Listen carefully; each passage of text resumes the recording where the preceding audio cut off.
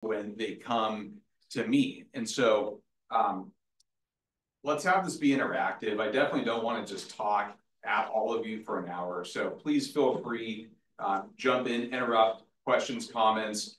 I'm going to ask some questions. If people can participate, that would be great.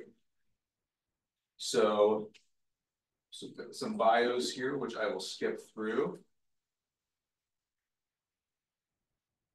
These are a little bit out of order, it looks like, so bear with me a second.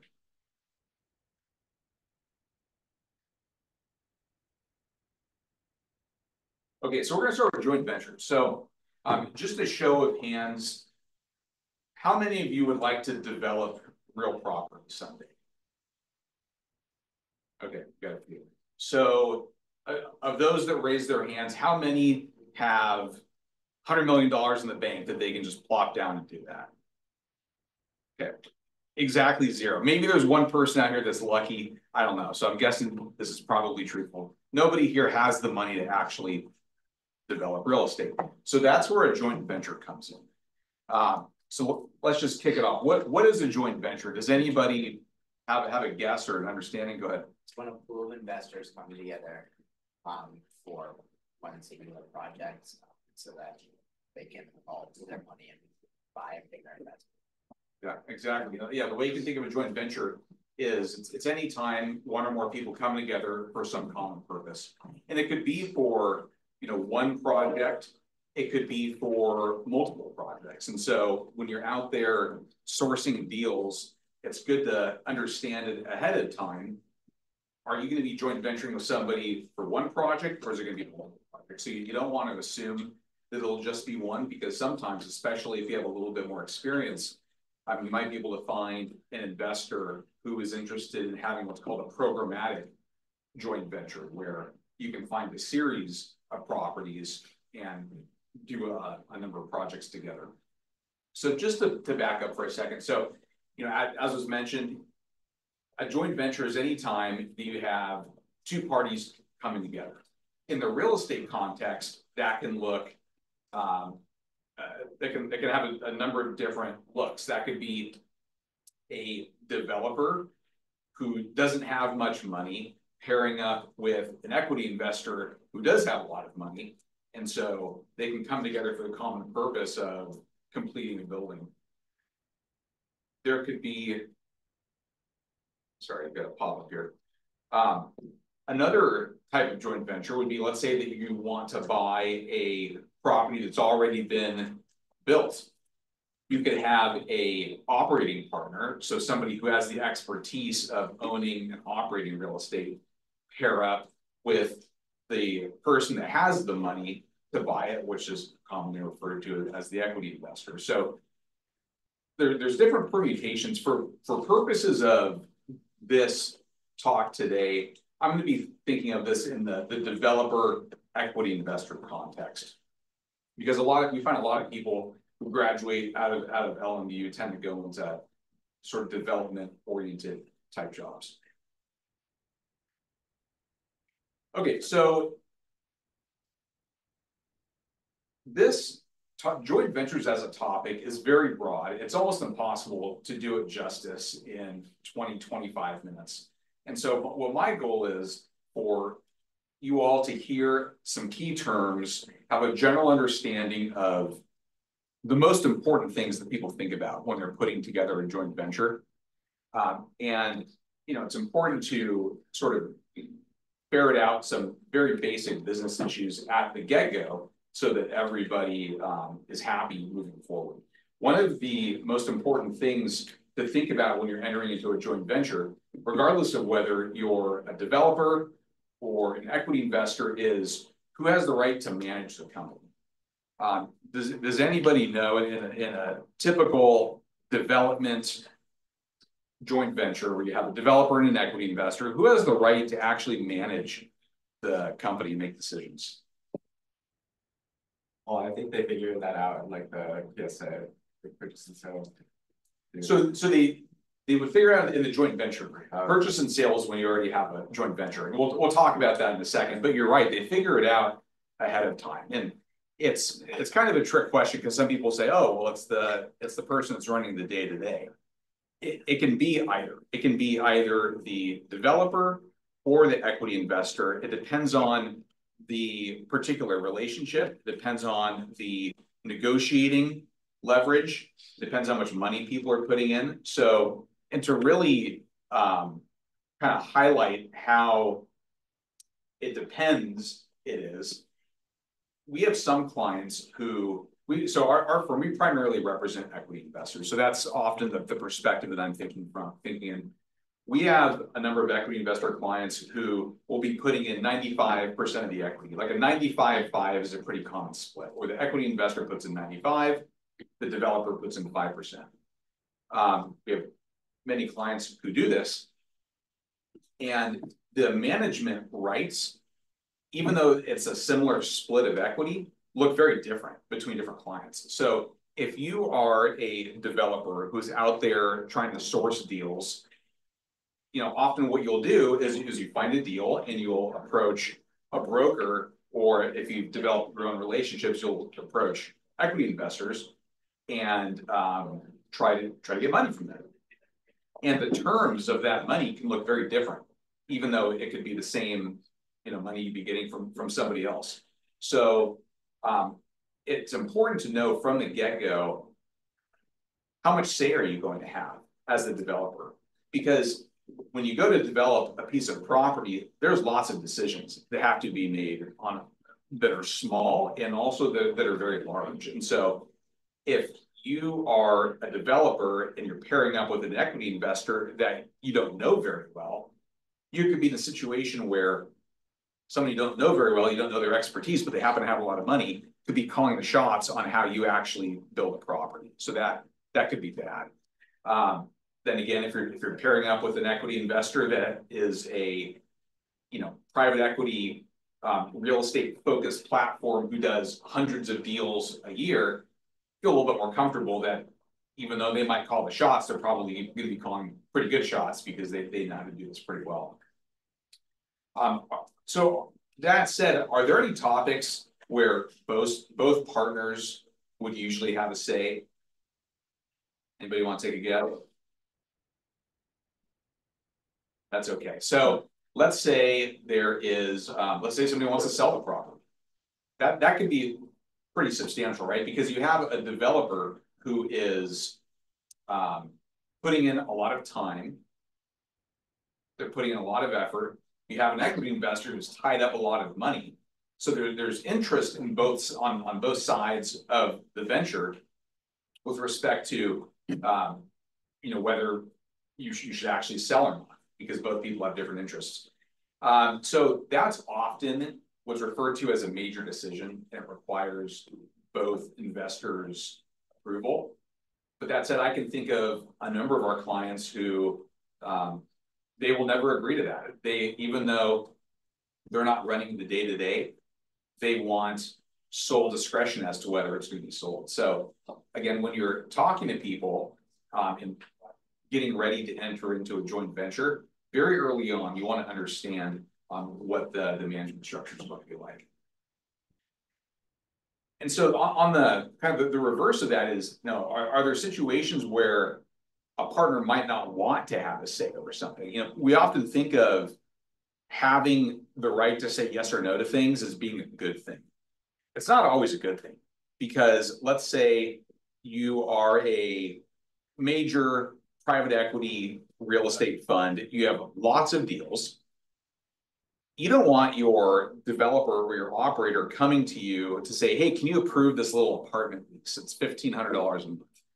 I mean, if, if you had to do that for every, let's say you build a you know four hundred unit multifamily property, and then multiply that out by how many different deals you're doing across the country, that would just be a constant stream of these really low level decisions that the whole point of pairing up with somebody is so that they're making those decisions for you.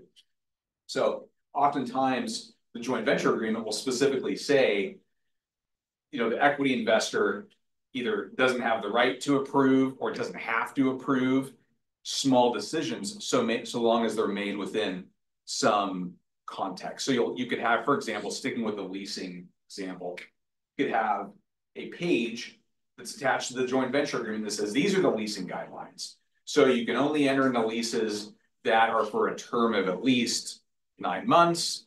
And it has to be rent between here and here, and the person has to have a credit score between here and here.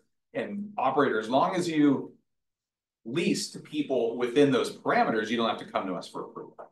So again, when you're thinking about rights and responsibilities, it's helpful to think, you know, how is the day-to-day gonna be determined? If I'm the developer or the operating partner, am I gonna have to be going to my equity investor every day asking for, for, for permission for little things? I mean, it just might not be efficient. So it's something to keep in mind.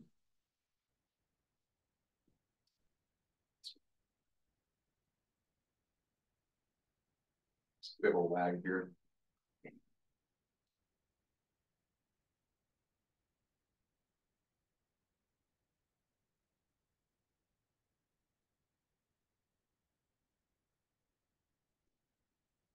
Okay, so. Now let's talk about the money. So the money is obviously really important. Um, you can't build a project or really do anything useful without it. That's just reality. So. What, what is a capital contribution? Does anybody know? It's strictly capital. Capital Your, your, your, your contribution is capital is money. is money. Are there any other, are there any other types of capital other than money?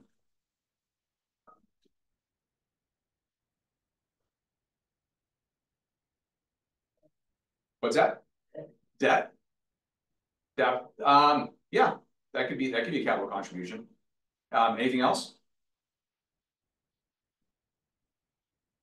Land. Land, yes, land, that's what I was thinking. So oftentimes in a development situation, you would have a, you know, you you could be a developer and you could go buy some little parcel of land that's out in the middle of farmland and you've sat on it for ten years and at the time it wasn't worth that much, but now stuff's been developing around it and now you're thinking, oh, this might be a really good opportunity to build some, some multifamily or maybe build a big um single family home development, something like that. So you can contribute the land into the joint venture and receive credit for that, just like it was cash. Um, one thing that's often negotiated, and you want to raise this early on, is, well, how much credit are you going to get for putting land into the joint venture? So let's say that you, you spent hundred thousand dollars on a parcel of land ten years ago. And you're, now it's ten years have gone by and you're ready to contribute that to a joint venture. You know, do, do you get a hundred thousand for it? That's how much you spent. But there could be a reason to, to get more. That, that land could have increased in value. You could have spent money getting the approvals to develop something often referred to as entitlements. So you could have appreciation, you could have additional costs have gone into it. And so what you, if you're the developer, you want to tell your equity investor, look, I know I only put hundred thousand dollars cash in to buy the property, but I want you to give me capital contribution credit of four hundred thousand.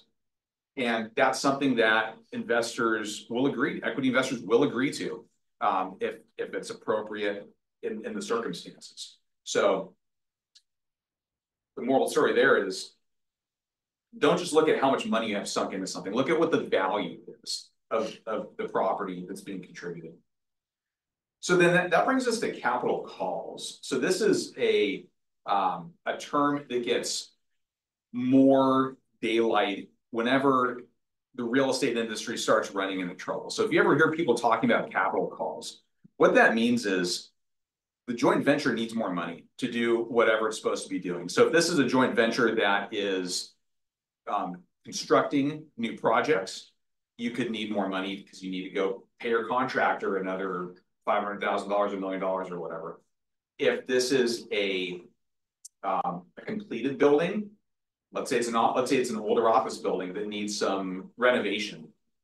In, and it's not, and the property's not generating enough cash flow to pay for that itself. Then you would need to contact your investors within the joint venture and say, hey, we need more money, and you make what's called a capital call.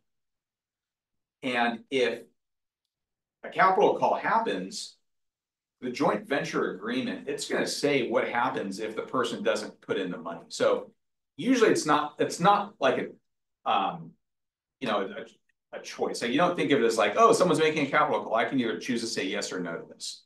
You might be able to. I mean, you can do whatever you want, whether the other person has some kind of remedy for you not putting in money, that, that's another thing. And the way that most joint venture agreements work is that if someone makes a capital call and you're responsible for putting money into the joint venture and you don't do that, then the other party can put in the money that you were supposed to put in. And so that's, if you ever hear of someone being diluted, that, that's what that's referring to, because somebody puts in your share of the money.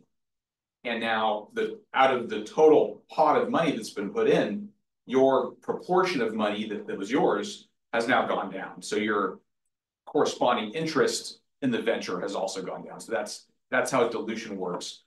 And, and it can go a little bit further than that. And again, this is something you want to figure out at the very early end of your transaction, like at the letter of intent stage.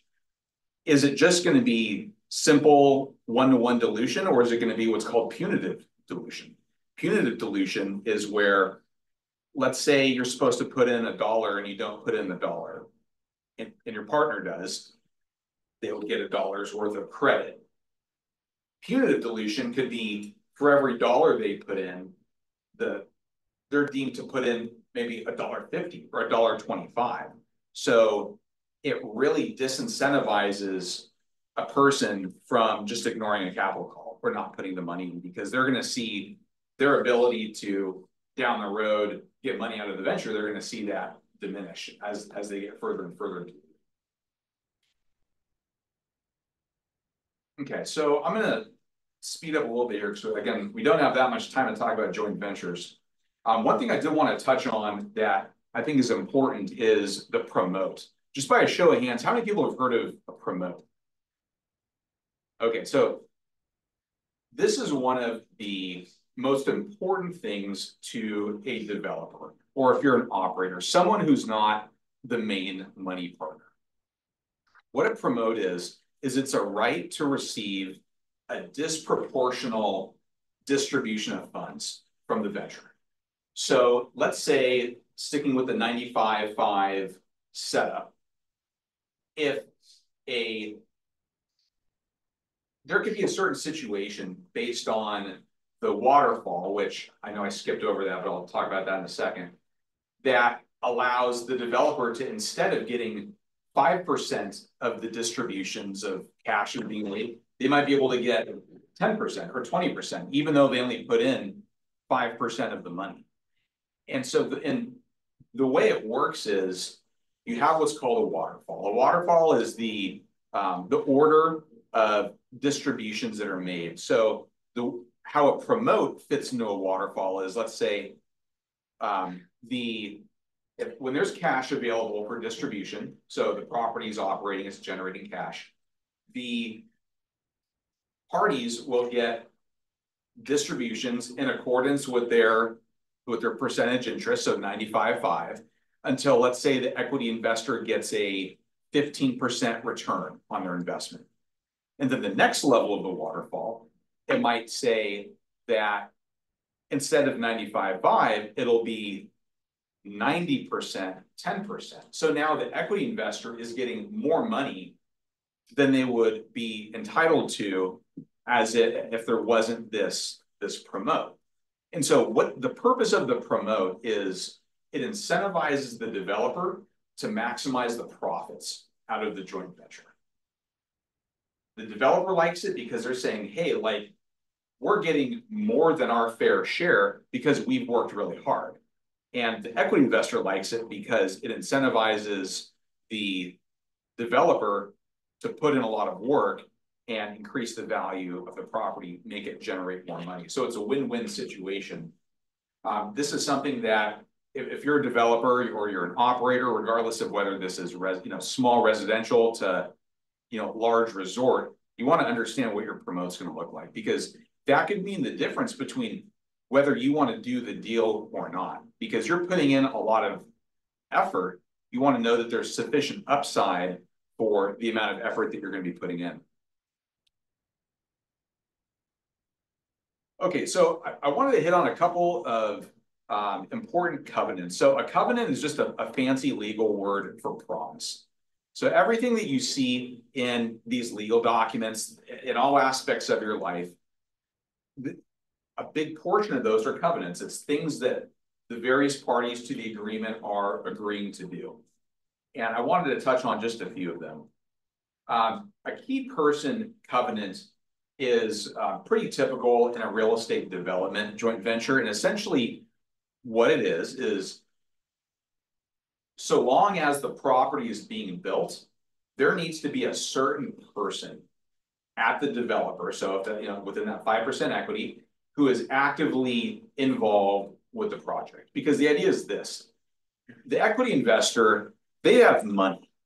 And the reason why they're even partnering to begin with is because somebody else has time and skill. And somebody that they, that they trust, at least to some degree.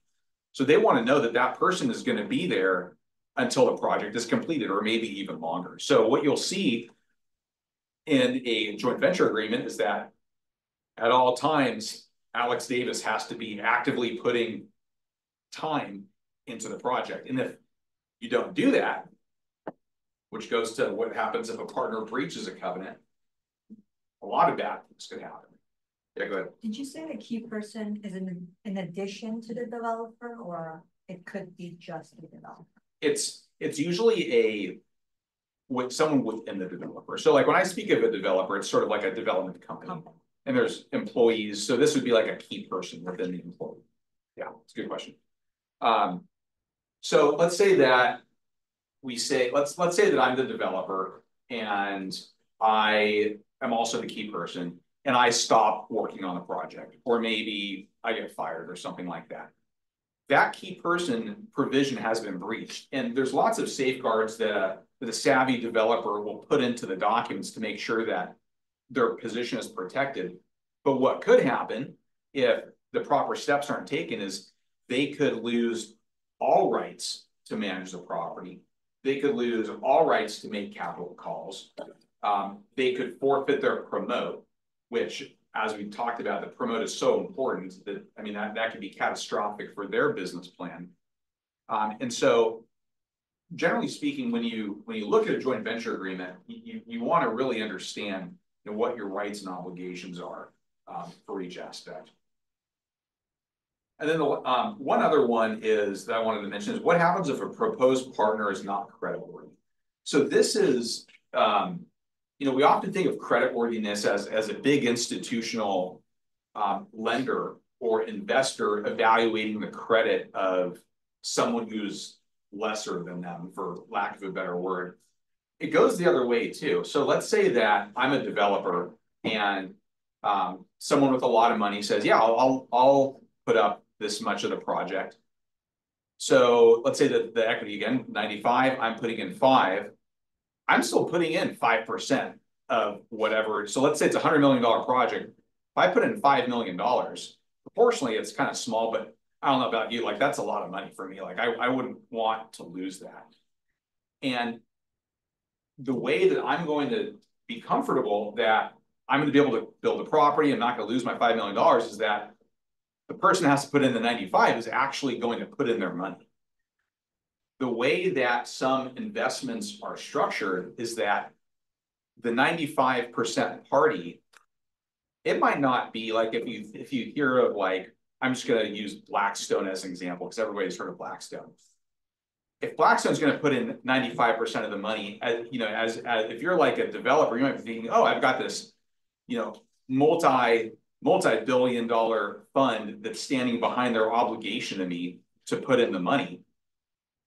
But what, what could happen is Blackstone could instead, they could create an entity solely for the purpose of funding this investment. And so if, if things go badly, they may have a reason to, to cut off funding. And your only recourse would be to sue an entity that has no money. So that's, that's not very helpful. So what you always want to be thinking is whenever you're entering into a contract, this really goes for like anything in life, more, more than just real estate development. You want to understand who you're actually entering into a contract with. Are you entering into a contract with a parent company that has billions of dollars? Or are you entering into a contract with a company that might be incentivized to just not perform because they think they're judgment proof. And so there's ways to solve for that, which goes beyond the scope of what we're talking about here, but something to keep in mind. You, always want to know from the get-go, who, who is your counterpart? Okay, so exit rights. You know, people spend a lot of time thinking about how they're going to get into the deal. Most of the time, it's it's it's as important, if not more important, than how are you going to get out of the deal. You know, a lot of developers, when they build properties, they're not building them from the from the perspective of build and hold for the next 30 years or something like that. There's exceptions. Um, but a, a, lot of what in, in, the market is more of a, of a merchant builder idea where you build a property, you lease it up till it's fully leased, and then you sell it. So the sale is, is your exit. So it's really important to know how are you going to be able to get out of this joint venture. So one way that you can get out is through what's called a forced sale. And so that means that in the joint venture agreement, remember this kind of goes back to what we talked about at the beginning about management rights. Forced sale is having the right to sell the property. Um, another way to exit a deal is through a buy sell. Um, buy sells can get complicated, but the way you can think of it simply is if you have a dispute with your partner and, and you just you want this relationship to end one way or the other, whether you're out or they're out, you can send a letter to them that says, Hey, I'm triggering the buy sell. This is how much I think the property is worth. You can choose to either buy me out or let me buy you out. And if you don't make a decision, you're deemed to let me buy you out. And so a buy sell, the, the key thing to remember here, if you're going to take away one thing about the buy sell, it's this the buy sell is disproportionately beneficial to the equity investor because you people often use these buy sells as bluffs. It's kind of like you're playing chicken.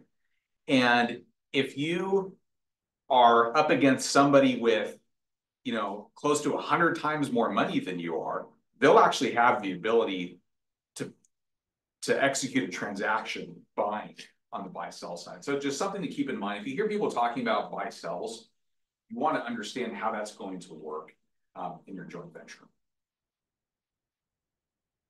Okay, so um, yeah, go ahead. How would a developer like bluff the equity investor if they put in like ninety-five million and the developer only put in five? So um, it's a good question. So where you can see that come up is, you know, there are developers out there who have a lot of money. So um, for example, one that immediately comes to mind is like Trammell Crow. If people have heard of Trammell Crow, they're they're a developer, but they have a lot of money um, individually. So they might not want to be hundred percent of the equity in a project, but they could.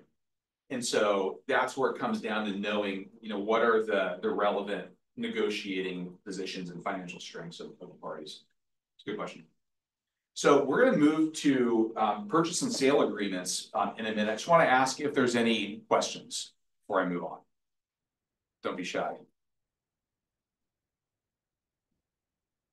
Okay. All right, so we're gonna we're gonna move to purchase and sale, and then we're gonna take about a five minute break after that. So I, I like that we talked about joint ventures first, because before you can buy property, you have to have the money to do it. And you're either going to have the money yourself, which case joint venture may not be relevant, but oftentimes you need a partner. So joint venture. So now let's let's assume that the joint venture is ready to go. You found a property, you're ready to buy the property with your joint venture partner.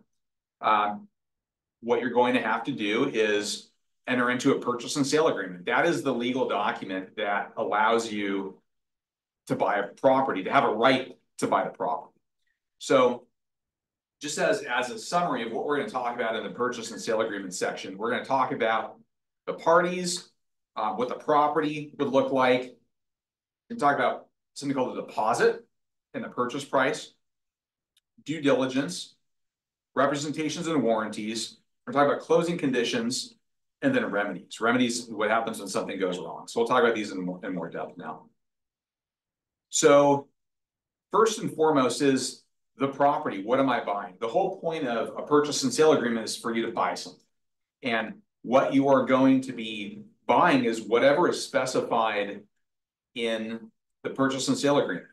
So, you know, oftentimes when, when you think about real estate, you're like, okay, I'm gonna go buy this parcel of land, or I'm gonna go buy this building, and, and that's, you think of it at, at a surface level.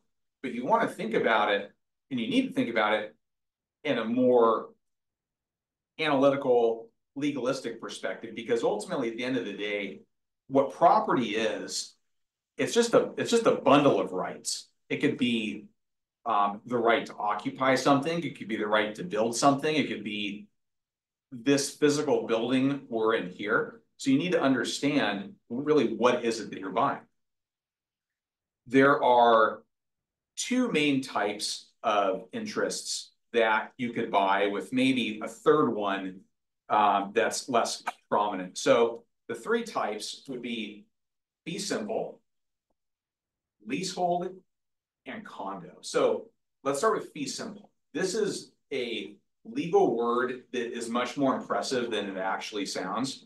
So, or I should say less impressive than it actually sounds. When you think of like, I'm gonna go buy a house, you're buying the fee simple interest. It means that like you actually own the dirt, you own the house. It's just the, the basic idea of what you think of logically when you buy land. Uh, sort of on the on the other end of that is a leasehold. So if you are a tenant at, let's say, you know, an apartment building. So you're living in an apartment building, you have a lease. You you don't own that apartment building. You have a right to occupy the building. It's a pretty good right because the landlord can't just come in and kick you out. But you have a right to occupy the build the, your apartment unit on certain specified terms. So that, that makes sense and I think is kind of logical um, and obvious from an apartment rental perspective, like if you're just an individual renting an apartment. But, but a leasehold also comes up in a purchase and sale context. So here's a good, here's a concrete example. Um, Stanford Research Park up in the Bay Area. That is um, an area where the university owns a huge portion of extremely valuable land that has um, research parks developed on it. In a lot of instances, you have major institutional landowners and developers who have built large life science campuses, office buildings, when they're not actually buying the fee simple interest of the land. So rather than buying the land itself from Stanford, the buyers will lease the land from the from Stanford on call it like a 50 year lease or a 60 year lease. And there's a variety of reasons, you know, tax reasons and political reasons why people structure things like that. But the point is, you're not always buying the dirt. And you want to understand, are you getting into a leasehold deal? It's also referred to as a ground lease. If you hear the word ground lease, ground lease means you can think of it as long-term lease. So you also, um, you want to understand whether you're, oh, and I almost skipped over the third one. So condo. So condo is kind of somewhere in the middle.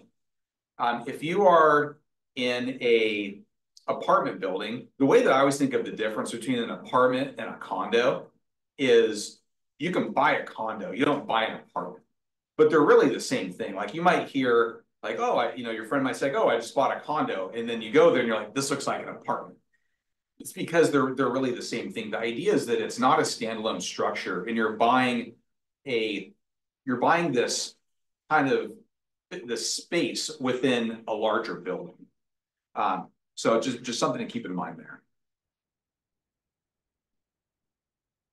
Okay, so I'm going to skip over improvements in the interest of time. Again, you want to understand what you're buying. If if it's not obvious, so let's say that you're, I said I'm going to skip over, I'm going to talk about one thing actually.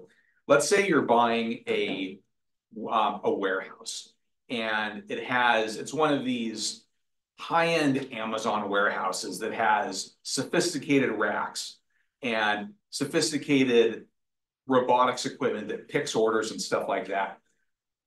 And, and you're, you're, buying this, are you buying? Are you buying that equipment? Does anybody want to take a guess? Or does anybody know? So I, I don't know. The answer is I don't know. It depends on what the purchase, the purchase agreement says. Who owns that equipment that, that's in there, even if it's bolted to the walls, those are often fixtures. But the point is, that equipment can be millions, if not tens of millions of dollars. You, you better know whether you're going to get it or not when you close the deal. The last thing you want to do is close the deal and you show up and all that equipment's gone. Everyone's gonna have a bad day if that happens. And same thing for tangible personal property like like furniture, artwork, is if this stuff is important, you wanna make sure to outline in your purchase agreement who's going to get it. Now, you know, we talked a lot in the joint venture portion about development. Um, this, the, the, the, quote unquote property comes into play for a, for a development con, the development situation in a little bit more subtle way too. So in, in certain jurisdictions in the United States, you can have, um, properties built through what's called development credits.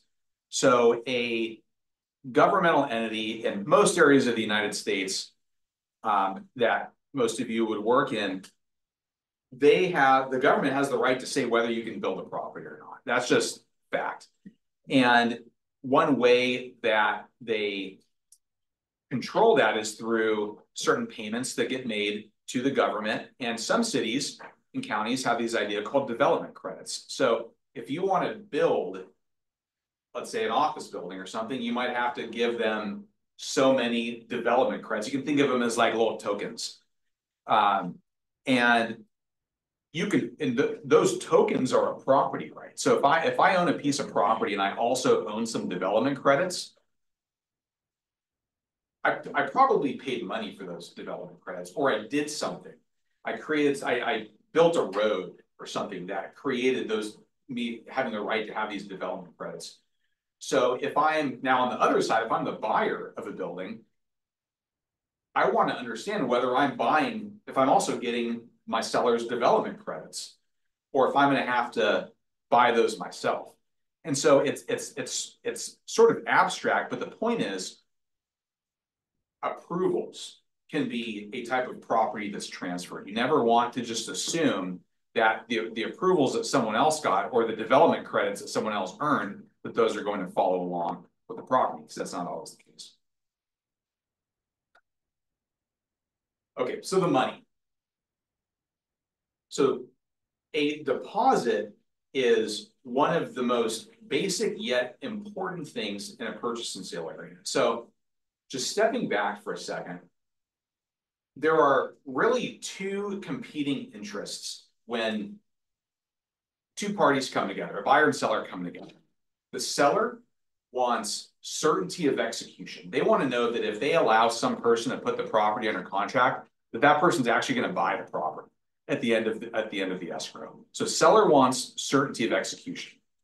The buyer is in the, the complete opposite position. They want to be able to get out of the deal if something bad happens or or if they simply don't want to buy the property. So you, you have this, this tension that exists and in a purchase and sale agreement in various different contexts, you talk about when can the buyer get the deposit back? When are they going to forfeit it? So now that we've established that, the way that the deposit works is you sign the purchase agreement and then you put up some amount of money and it depends on the size of the deal. Think anywhere between half a percent to five percent. It depends on the market, size of the deal. There's so many factors, but it's usually the point is it's usually a, a substantial enough amount of money that your buyer is going to be disincentivized from walking away. Um, usually you put it in within a couple of days after you sign the purchase agreement, usually between one to three business days. There can also be times that you have to put in more money. That's usually referred to as an additional deposit. So if you have a, a deal that's a development deal, so someone's buying a raw piece of land, those tend to be longer escrow periods. So you could say. Um, the developer has sixty days to do their due diligence on the property. And then they have another six months to close on the property. The seller might say, man, I'm, I'm really tying up my property for a long period of time. I wanna know that you're really serious. Moving forward, so you might require as a seller, you might say, okay, you put in. Um, five hundred thousand dollars when you initially signed. Now, when you've, you've told me that you're satisfied with the property, but you need to just, you need more time for whatever to get approvals from the government or. Um, get your equity investor lined up. The seller might say, I want an additional deposit of another five hundred thousand dollars. So you might have to put up more money. So. You know, how do you get the money back? That's what, the- that's what the buyer always wants to know. In what instances can I get it back? Generally speaking, during the due diligence period, so the. The buyer can get their money back for any reason. They don't even have to have a reason. They can say, hey, I don't wanna do the deal anymore. I'm out, give me my deposit back. There's exceptions to that, but the, the overall market position is, is that you can get your money back for any reason during due diligence. Um. You'll see here that there's an objection, right? Um. So let's say that there is. Let's say that you complete your due diligence on the property. And your deposit is now presumably non-refundable. Sometimes if certain things happen, such as. Um, maybe. There's a new lien that was put on the property, or maybe there was um a fire at the property. You might have an ability to say, hey, let's, let's talk about this, and if it's something serious enough, you may have the right to get the deposit back.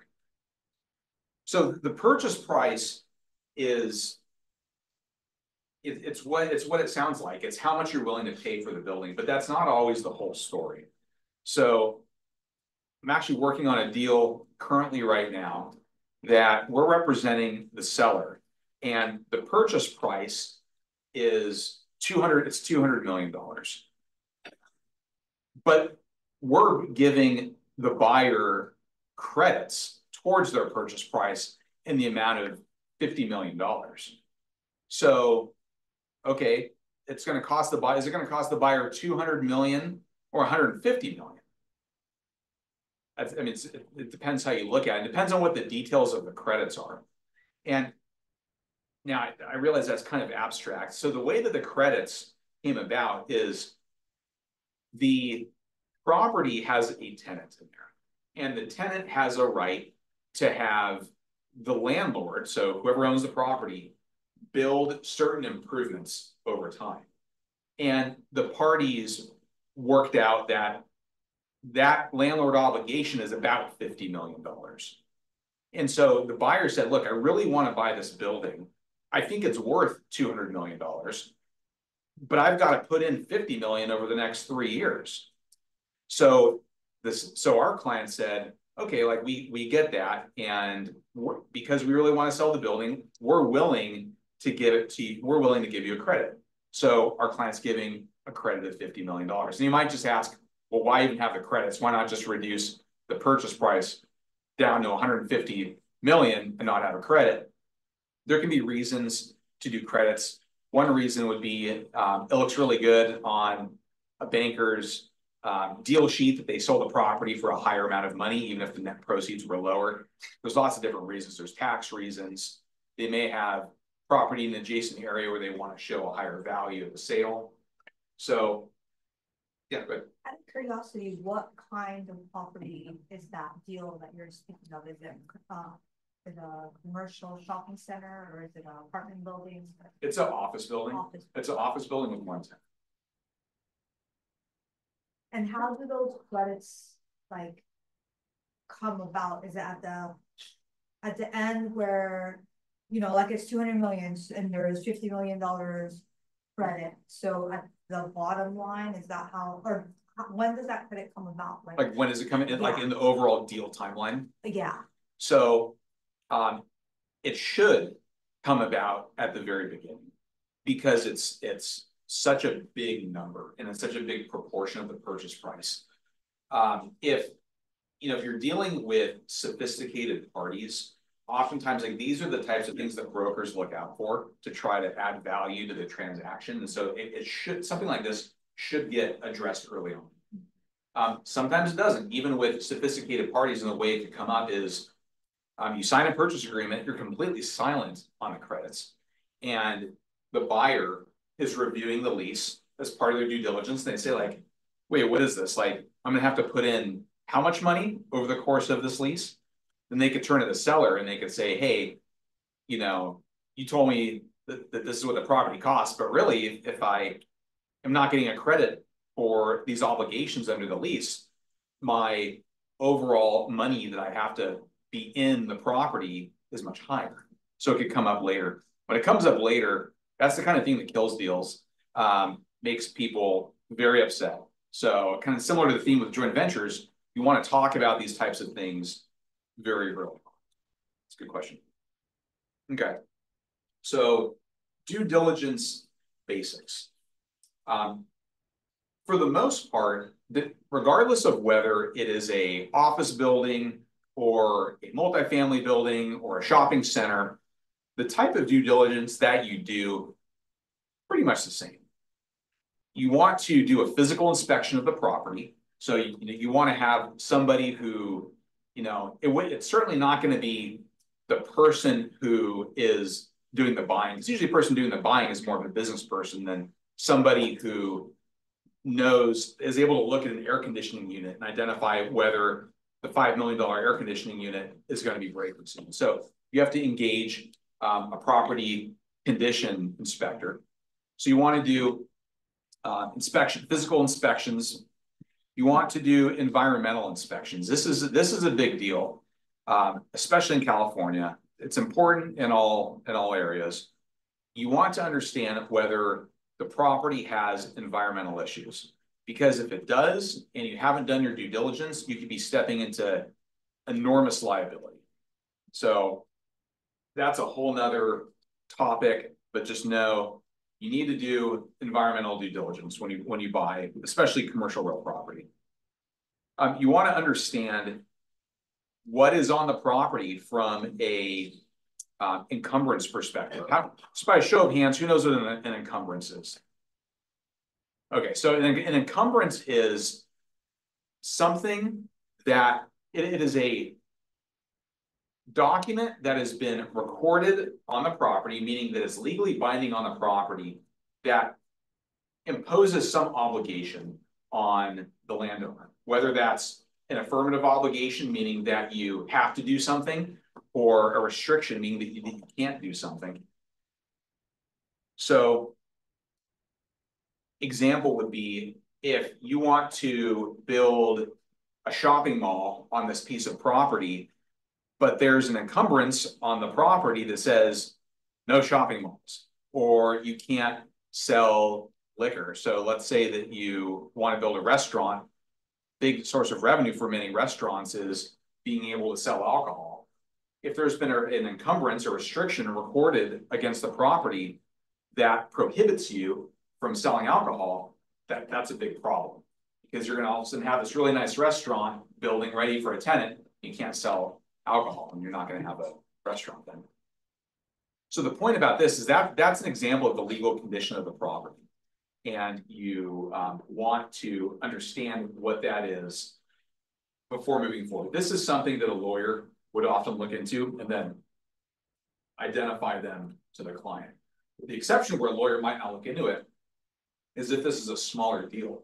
So if you're out there doing a smaller deal and you're doing this yourself, you, you have to be on the lookout for which can be very challenging if you're not a lawyer. Yeah. Does the seller have any like legal obligation to tell you like this has like an environmental issue, or is it up to the buyer to figure that out? So it's a good question. Um, the, the, you, if you're the buyer, you should be assuming the answer is no that. Um, you know, there's fraud if somebody is sort of in, you know, the common usage of the word fraud, right? If somebody's committing fraud to, to induce you to enter into the transaction, then, you know, there's probably some, you could probably argue that they had a duty to disclose certain things. But in a purchase agreement, there's usually two or three pages dedicated to. We have no duty to disclose, and we're gonna, we're gonna say it in twenty different ways, and you're gonna initial that that's the case. So it's very much, a, you know, as is, where is, and you better do your due diligence. Um, and we got a question from, um, the Zoom, which I'll, I'll answer right now. So the, the question was, how early in negotiations does the GC get involved? And so you can think of that as either the general counsel or, or outside counsel. Um, they should be engaged at the very beginning of the transaction. So my recommendation is always at the letter of intent stage. Letter of intent is basically a one pager that says what the terms of the deal are. I recommend getting the lawyer involved at that stage to avoid heartburn down the road if things don't go the way that you wanted them to go. Um, but at, at the very latest, absolute very latest, once you have an initial draft of the purchase agreement, the first thing you should do, that comes in your inbox, you hit forward and you send it to your lawyer, whether that's your in-house lawyer or your outside lawyer, you get that over right away. Okay, so um, we're, we're running out of time here.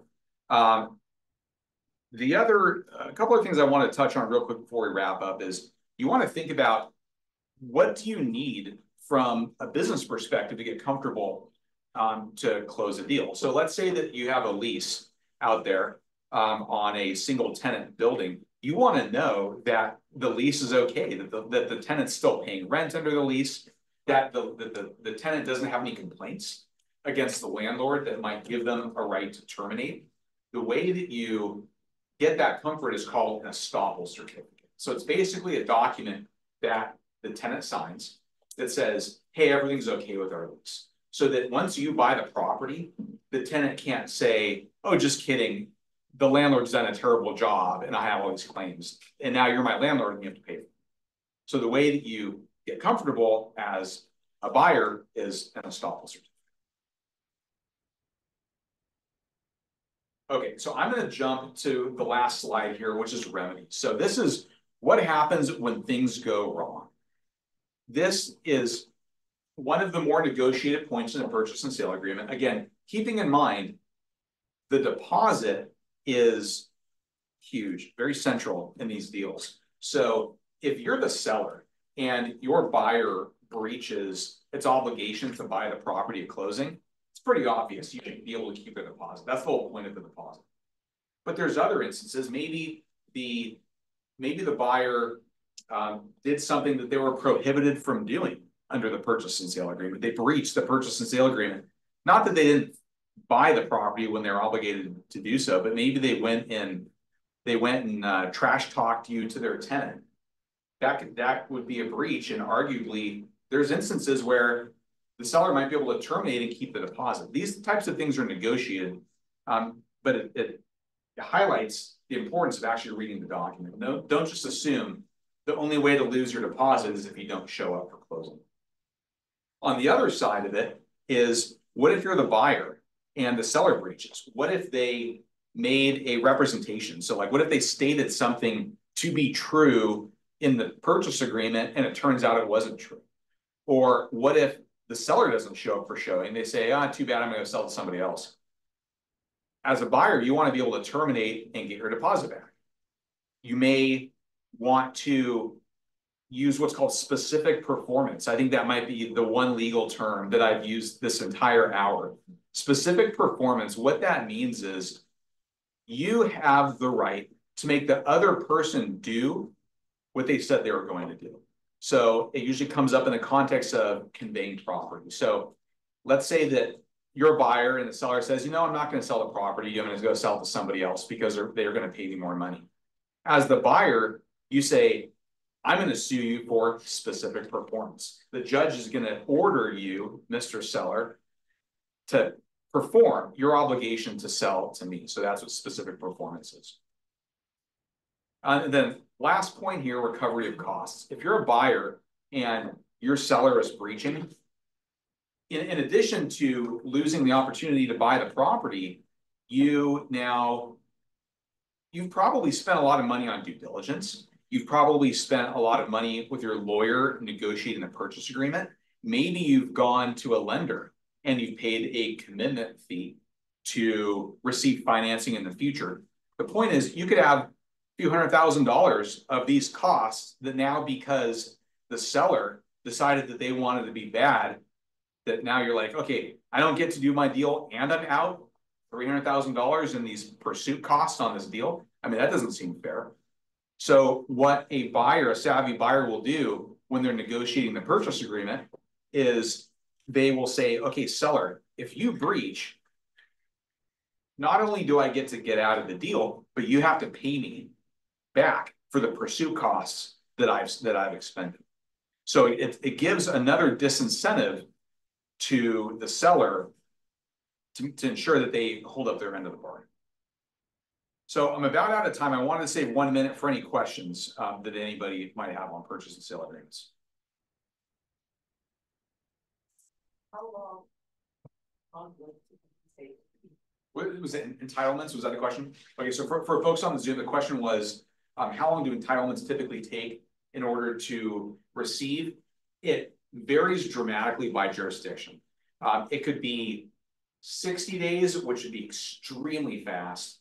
Um, I think if you, if you're gonna be a developer, thinking of a timeline that's gonna be reasonable in most instances, it's probably about a year, anywhere from six months to a year. It depends on the jurisdiction you're in. If you're in Los Angeles, where stuff moves slowly often, things can be backed up.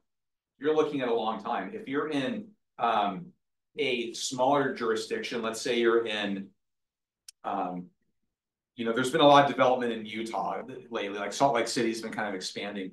And you can think of like jurisdictions where there's not as much economic activity compared to LA or New York. You might be able to push your entitlements through in four to six months. So it's it's very important to understand when you're um, looking at a property that you talk to somebody who's very familiar, who's local in that area, and then they they can tell you the answer to that question. It's a really good question, very important question, because especially if you're trying to maybe time the market a little bit. If you buy a piece of property and it takes you two years to get your, um, your entitlements, and now maybe interest rates have gone up or other people have completed their buildings and there's too much supply now, that could change the whole calculation. So um, yeah, it's important to understand how long it's gonna take. Anything else? Um, let's say a company was, um. Trying to conduct due diligence for a property that they're looking at and they hire like an outside company to do that. How would they know that the due diligence was completed in its entirety? Yeah, that goes to trust and the relationship you have with your inspector. So um, people often use repeat inspectors. Um, and develop relationships with them because it comes down to trust. Because are, you know, if somebody blows the inspection on a hundred million build, hundred million dollar building, you're gonna be able to get a hundred million bucks or whatever your damages were from some property inspector? Probably not. So there's a lot of trust that goes into selecting. And so unfortunately, um, we're out of time. And so uh, I'd like to introduce Dan Lifman. All right, uh, uh, we'll pick up with real estate basic legal principles in five minutes, so take a five minute break, be back at two oh six. All right, thank you. Thanks, Alex.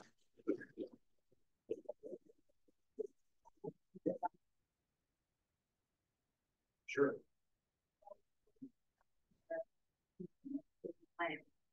Um, provided. How are you, Mr.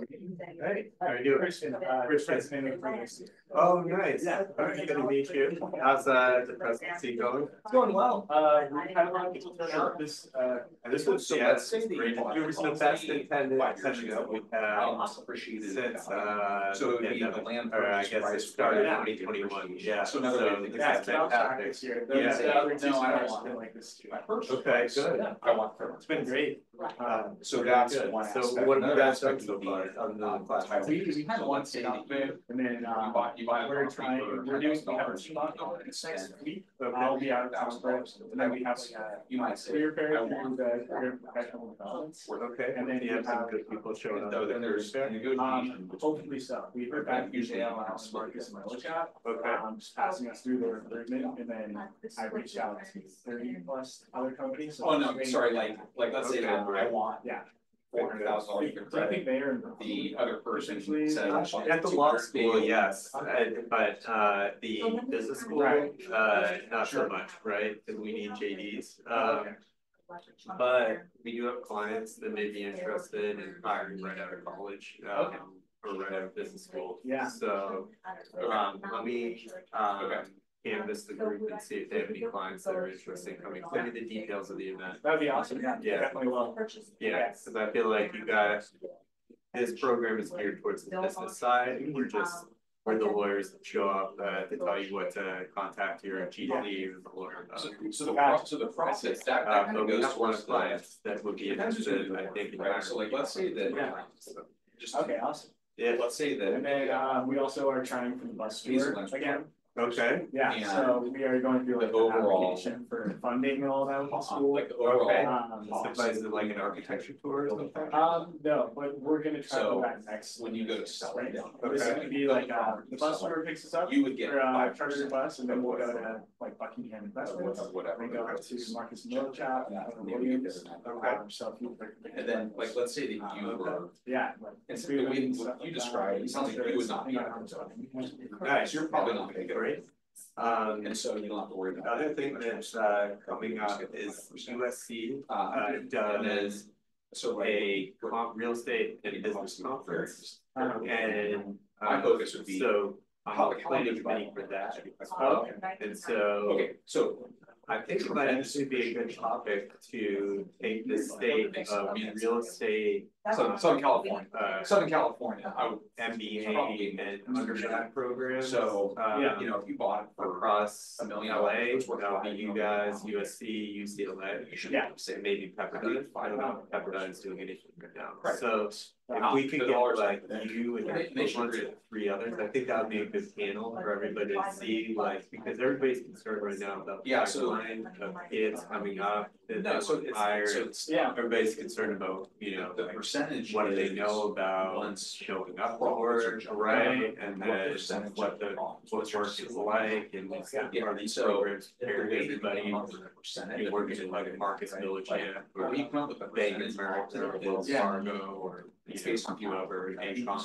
So um, if they So, in and there's a lot of those type of people million, in this event, so. Yeah, you're. And I was, I was gonna talk to the certificate organizers too, uh, you, you all should be doing something similar to USC as well. Right, at some point, like a conference where you have a bunch of people, come, you know, names come in, Yeah, puts the program on the map, you know, for region. Yeah. I definitely want to do so, I, I just make it similarly in advertising, to hire us, you Yeah. have on the website and everything.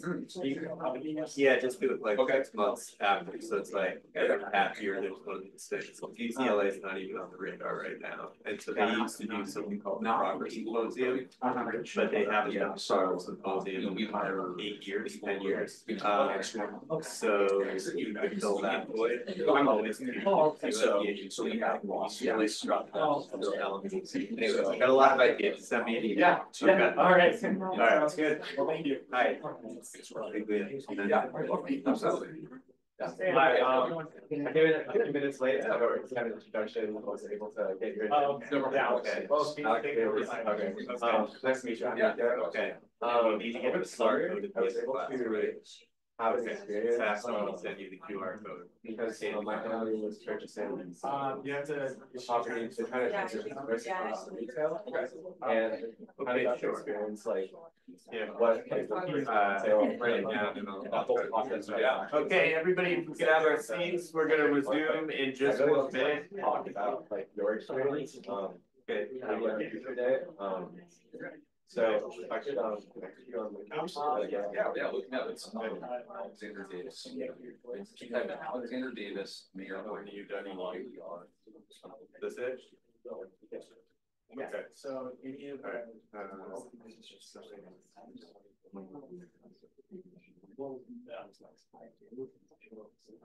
Okay, all right, uh, So, all right, yeah, I'm gonna get started, so. everybody have a seat, we're gonna commence, recommence with, uh, what we should have started with, but I got sidetracked. I had a note purchase going on today and, uh, we had to wrap up on, uh, we had divided a client's, um, well, a lender's note into two pieces, an A piece and a B piece, and my client bought the B piece and then they just bought the A piece today. Um, so that deal had to close, um, before sundown in New York because everybody on the New York side was Orthodox Jewish and wasn't gonna work after sundown. So apologies. We're doing the part that we should have started out with now, which is real estate legal principles, um, which hopefully you picked up some from Alex Davis, and maybe you'll remember some of what Alex Davis taught you as I ask you questions. Now, I, I'm not gonna um, ask for volunteers. I'm just gonna go through the room, um, starting in the front. So congratulations. What are the elements of an enforceable real estate contract? Do you have any idea? You can just throw out one. What do you need for an enforceable contract? Um, Okay, next. Uh, due diligence? Due diligence is a good thing to do, but it doesn't matter for an enforceable contract. Next. Um.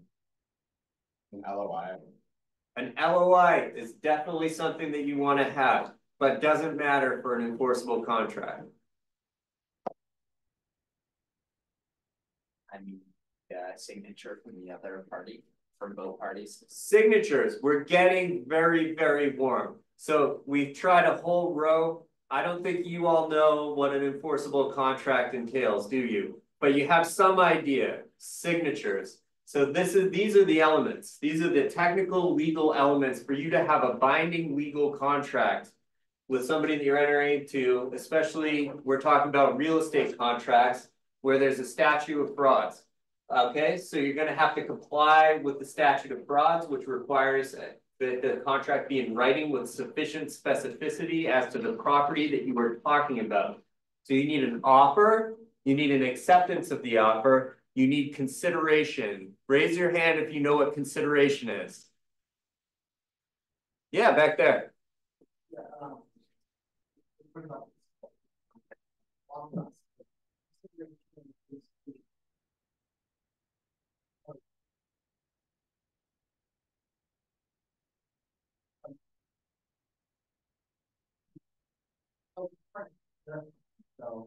You have to give something or forbear from doing something. That is consideration, a forbearance or a price. You've given money, you've said, I'm not going to do something, you've given up some rights, or you've, uh, or you've given some asset. So that's consideration. In writing, for a real estate contract to be binding, it has to be in writing with sufficient specificity as to the property, like I said.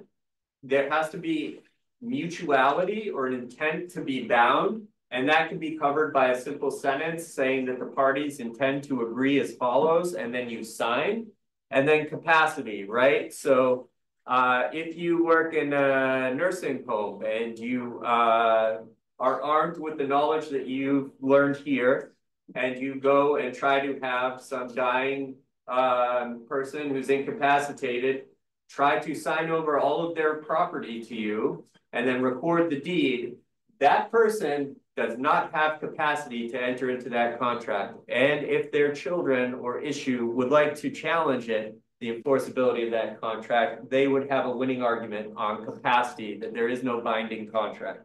So these are the elements of a contract. And if you take contracts in law school, you will study these for a month, maybe two months. All right, so that's what it takes to have a contract. Now, when is it when a party to a real estate contract, what is it when a party to a real estate contract does not fulfill its promises, okay? So there's a fair amount of that going on in office space right now, right? Office, offices are not doing well in this market because people don't want to come back to the office. Employers are trying to force people back to the office. Gradually, they are coming back, but not fast enough for there to be tremendous demand for office space. And we've built a lot of office space over the past twenty to forty years. So a lot of people are breaking their office real estate contracts, okay, whether that's leases, financing, or purchase and sales. So what is it called when you decide to stop paying interest on your loan? Sec, uh, this is now the third row. Like breach or default. Breach or default, terrific, or an event of default. The difference between default and event of default is that an event of default usually triggers remedies under your contract. A default usually triggers a cure period, after which you have an event of default. And once you have an event of default, you are in remedies. Okay, so what are the two main methods of enforcing a real estate contract? We'll continue down the road. Any idea how you would enforce any contract, but in particular a real estate contract?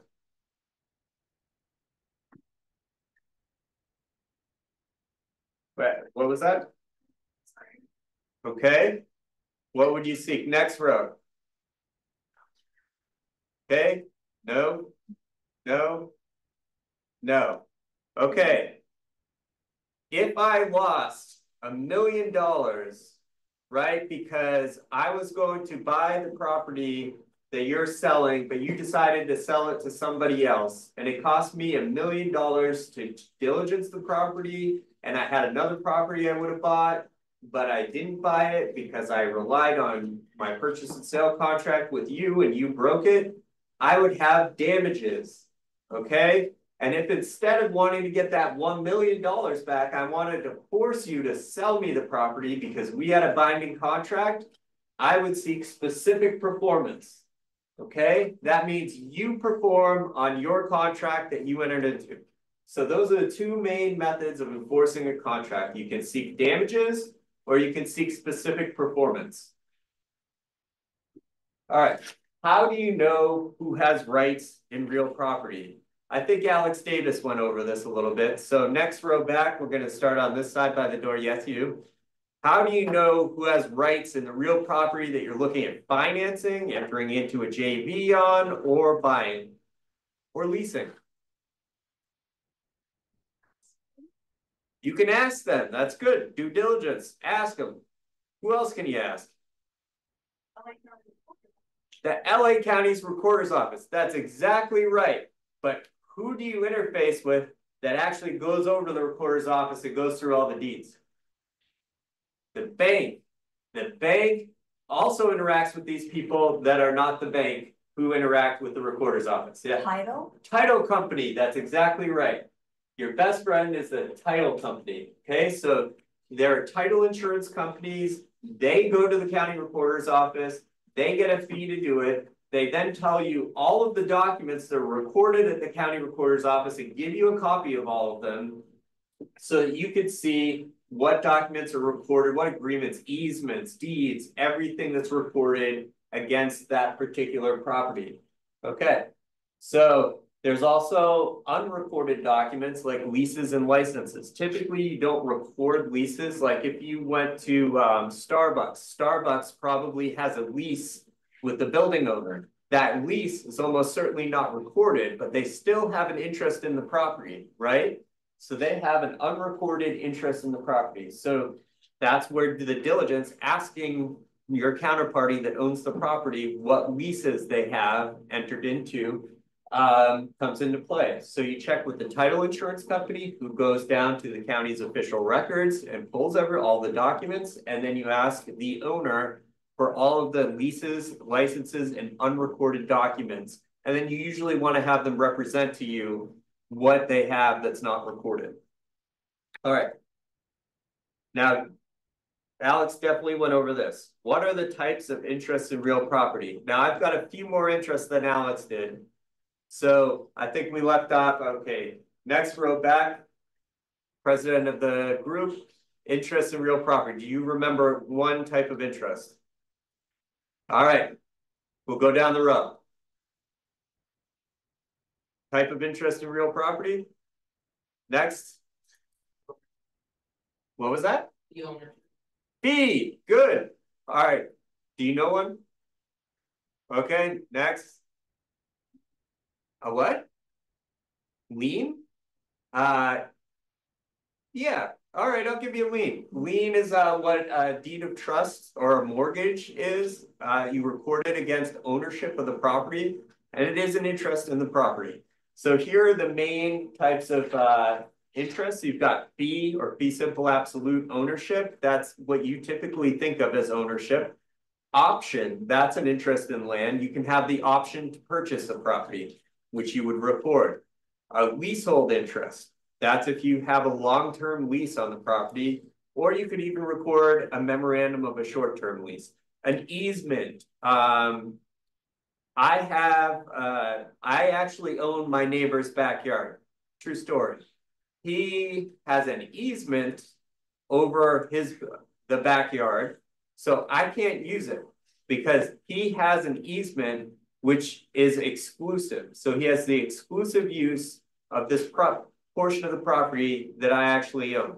So easements are very powerful tools. Um, they can be similar to uh, ownership if they're exclusive. I mean, because what are you gonna do other than use the property? And if you have the exclusive use to it through an easement and that easement's recorded and it's superior to all other interests in the land, then you've got basic ownership. Uh, restrictive covenants, restrictive covenants can, uh, be documents that are reported against the property that say you're not going to operate this property as. Uh, you know, X, Y, and Z. There's usually, uh, a host of, uh, uses that people want to prohibit. Um, when they record restrictive covenants, and they're the ones that you would think of. Condominium association, so uh condominium is a type of property ownership. Um. And so when you have a condominium, you are subject to an owners association. Um, and you pay dues to the owners association and you sign on to the association agreement. And then the association is supposed to take care of basic property management things with respect to the common areas of the condominium building. So those are the basics and you can have a lien on a property if you're a lender. Um, so that's it. Now typically we would go into fund formation and funding next. Um, but Mark Jeffries, who is uh our presenter on fund formation, he's the general counsel for uh thirty-six fifty REIT. I believe he's in uh Morocco, so uh I encourage you to look at his slides because they are filled with information about forming your own real estate fund if you find investors, um, retirement funds, pension funds, uh, sovereign wealth funds, uh, wealthy individuals that want to contribute money. So places like Blackstone, they raise funds. Starwood, they raise funds. 3650 REIT, they raise funds and then they invest the money, they guarantee their investors a return, and then they go out and they invest the money that they've raised. Okay? Uh, but we're gonna take another short break. Uh, we'll recommence at, uh, I think 2:30. 2:30. we'll restart with leasing. Trisha Greenlee will be here to present on leasing. Um, but again, go through these slides. They're rich with information and I apologize for Mark not being able to make it. Again, he's out of country. Did you have a question? Yeah, what's the biggest difference between a REIT and a private equity firm? Uh, so REITs are given a certain tax treatment, right? So they're given a real estate investment, uh, uh, trust treat, tax treatment. So there's only certain types of investment income that qualify as REIT income. Whereas hedge funds and, uh, private equity funds, they are just, um, uh, generic investment funds that can make any type of investment and they can uh accept all different kinds of income.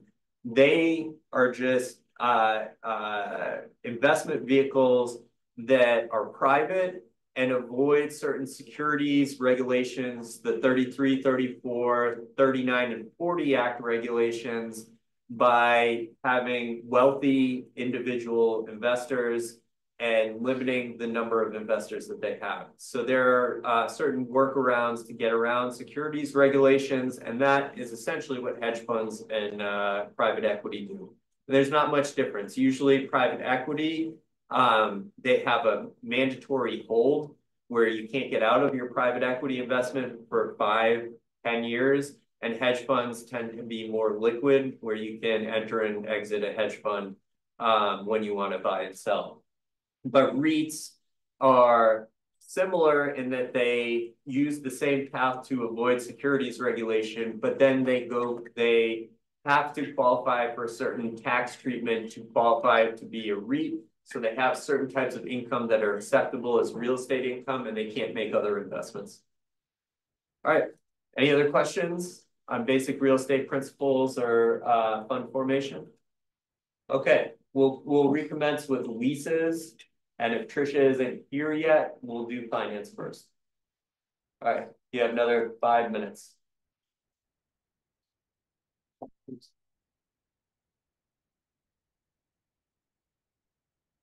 Yeah. Five minute break. Yep.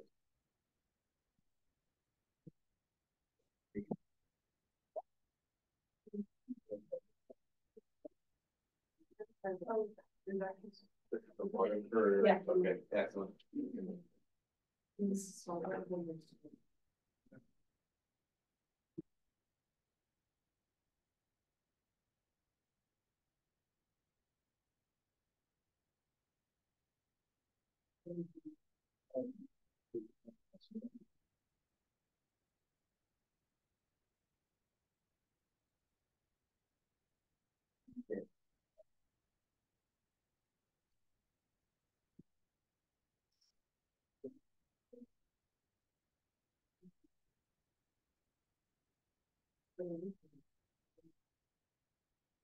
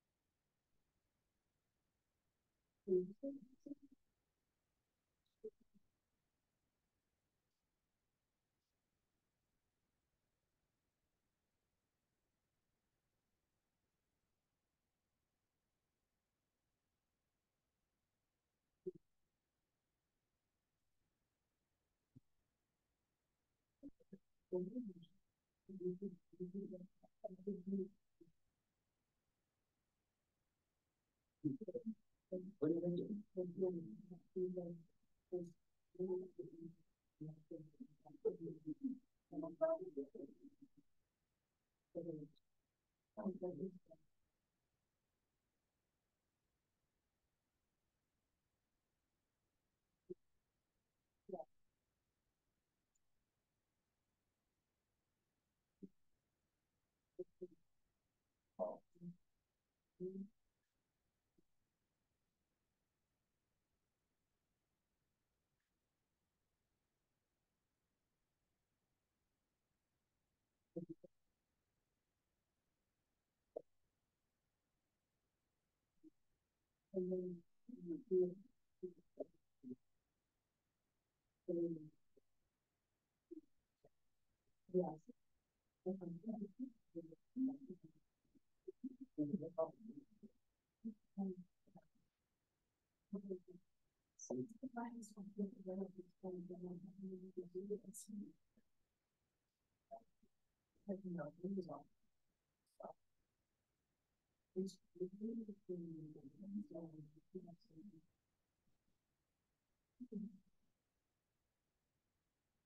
That's the person that we need to talk to with the great. Okay, I know where she.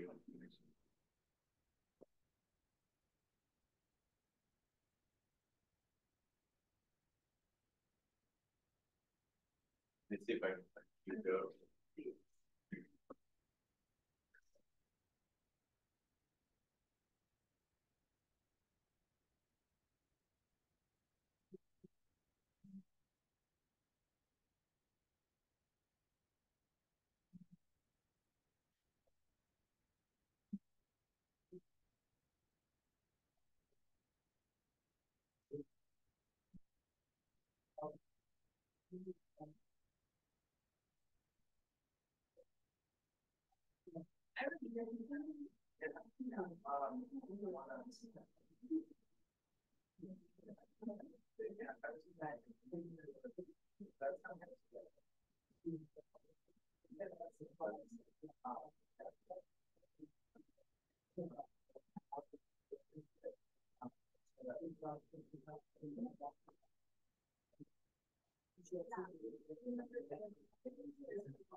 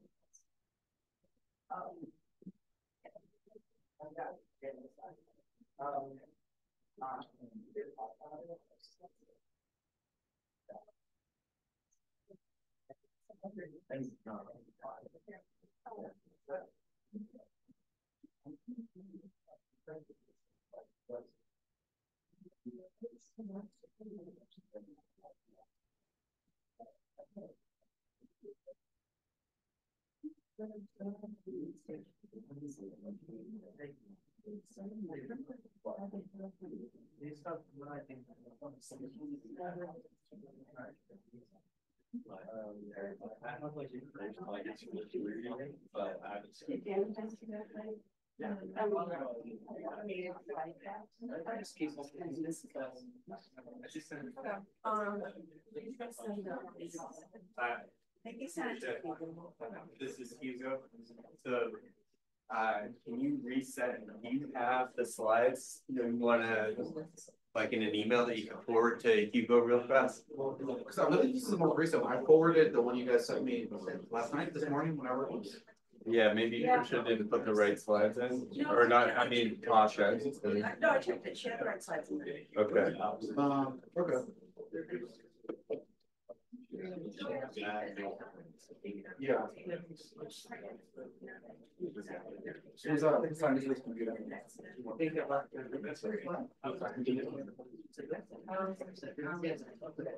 Or if it's easier. we can- I, I have my.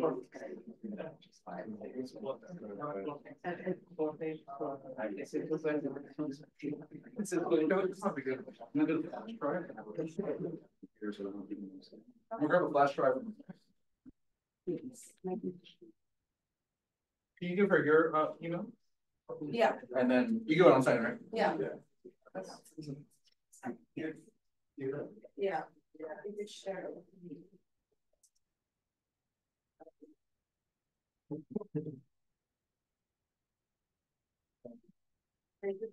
I'll give you the slide, though. Stop, I just be sharing.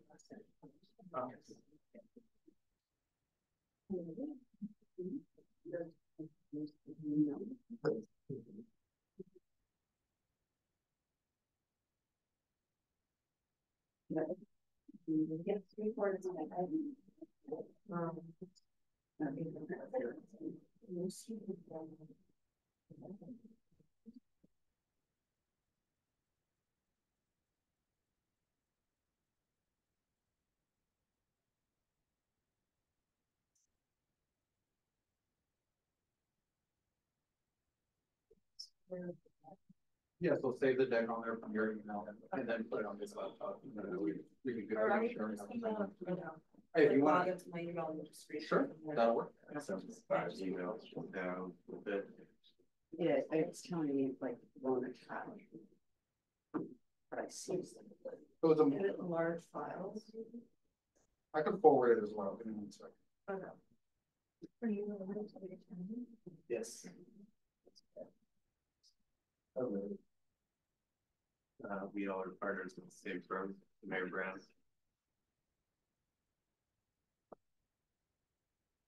What about the minimum? That you guys feel like a minimum, which is five, so, I do construction financing, and usually. So the one from yesterday is correct, right? Should be. Trisha does these things. She has size, like really, really large leases and some very small leases. and the other Japanese.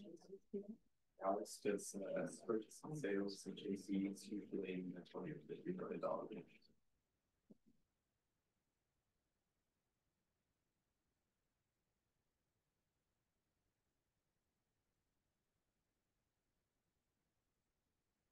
We're trying to get the right slides up for Trisha.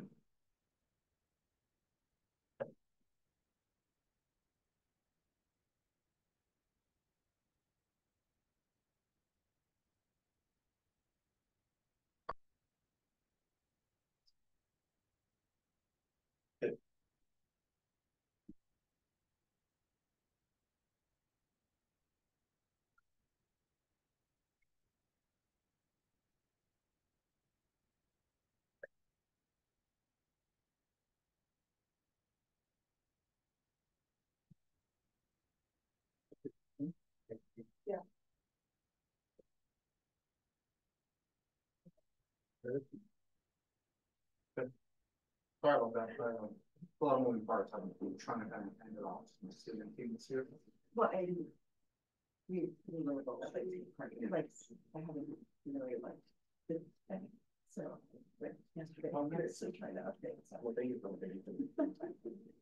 That's, uh, I'm, I'm, like, so I have a data team and a data team and. and kind of stuff. Was meeting. We put a little work mm-hmm.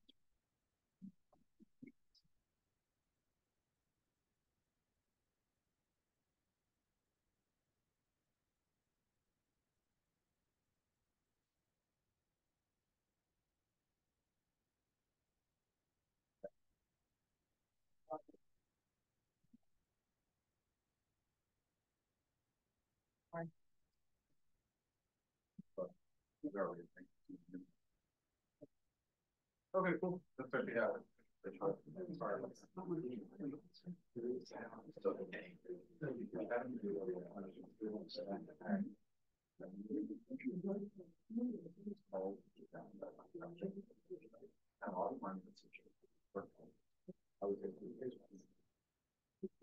Yeah, so we're doing that. Good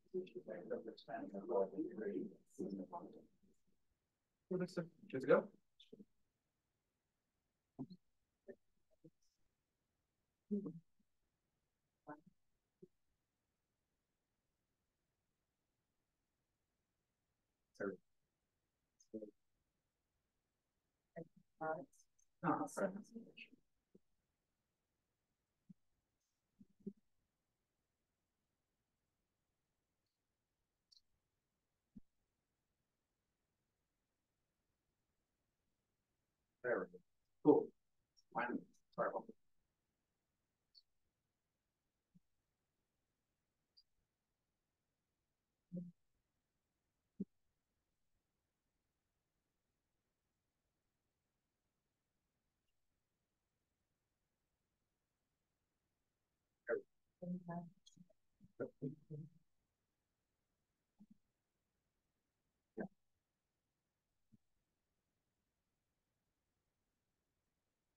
There we go. Yes. Cool. It's hot.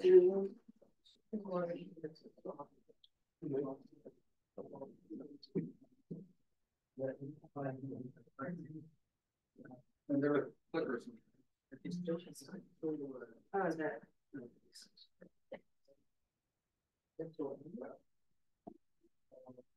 Yeah. Check.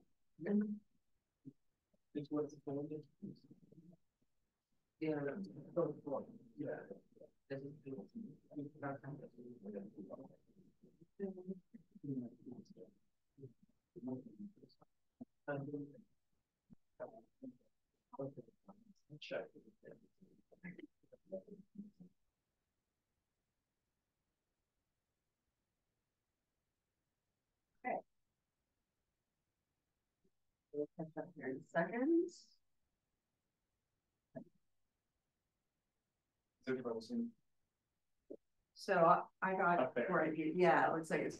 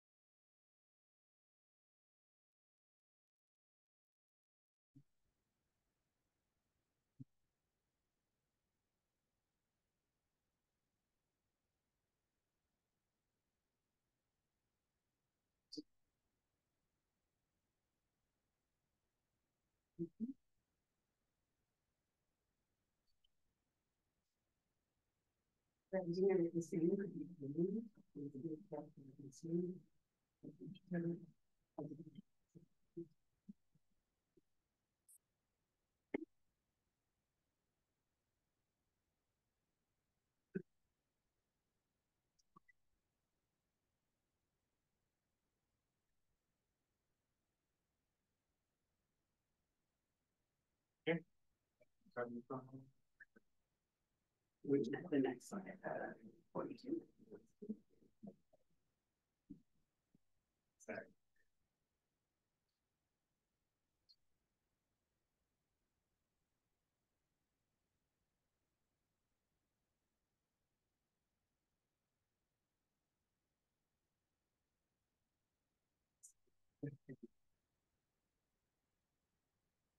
Um, hi, everyone. Um, I'm Trisha Greenlee and I think like everyone else you're hearing from today, I am a partner with Mayer Brown, uh, here in Los Angeles.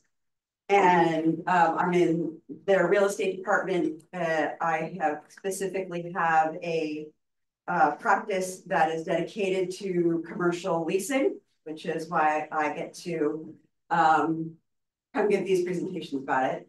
Uh, that's all I've done for about the last fifteen years, so, um, kind of unusual, but I like it, so. Get started.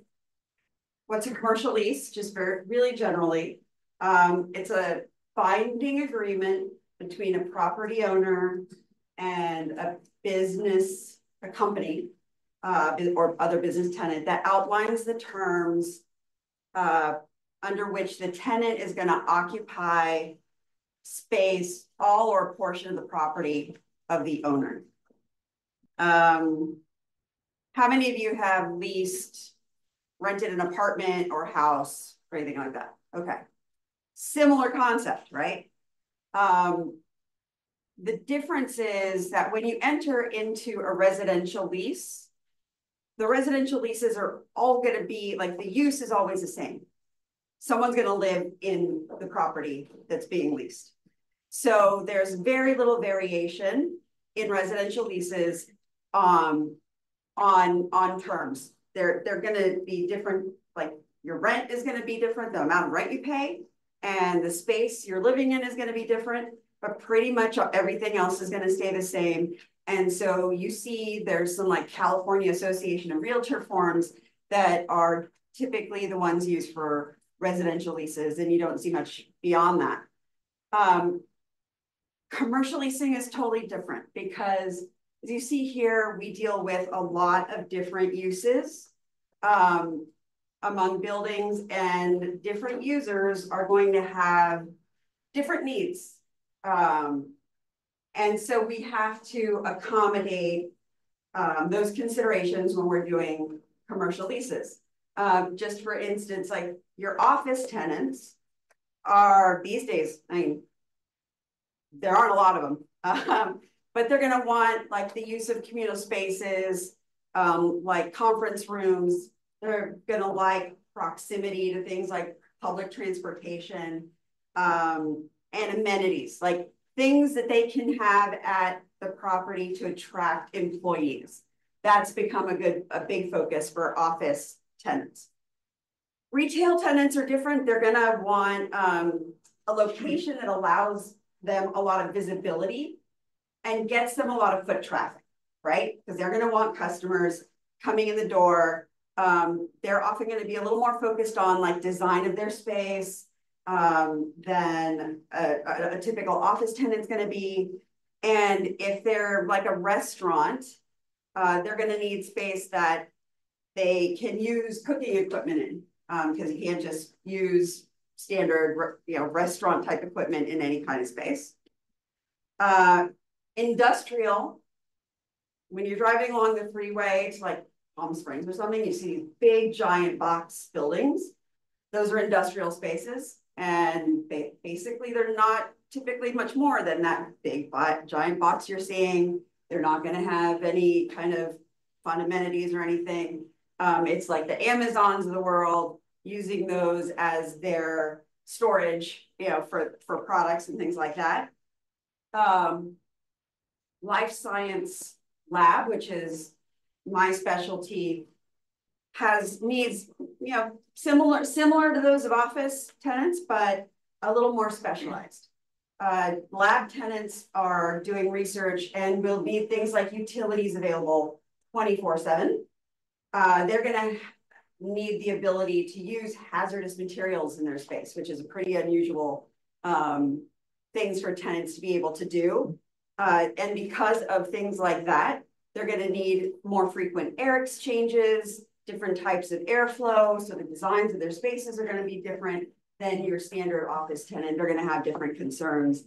Um, and then like high-tech R and D may be similar to that. And uh, then there's not listed here, but like data center. Data center leasing is super specialized. I can't, I don't, can't do data center le- leases myself.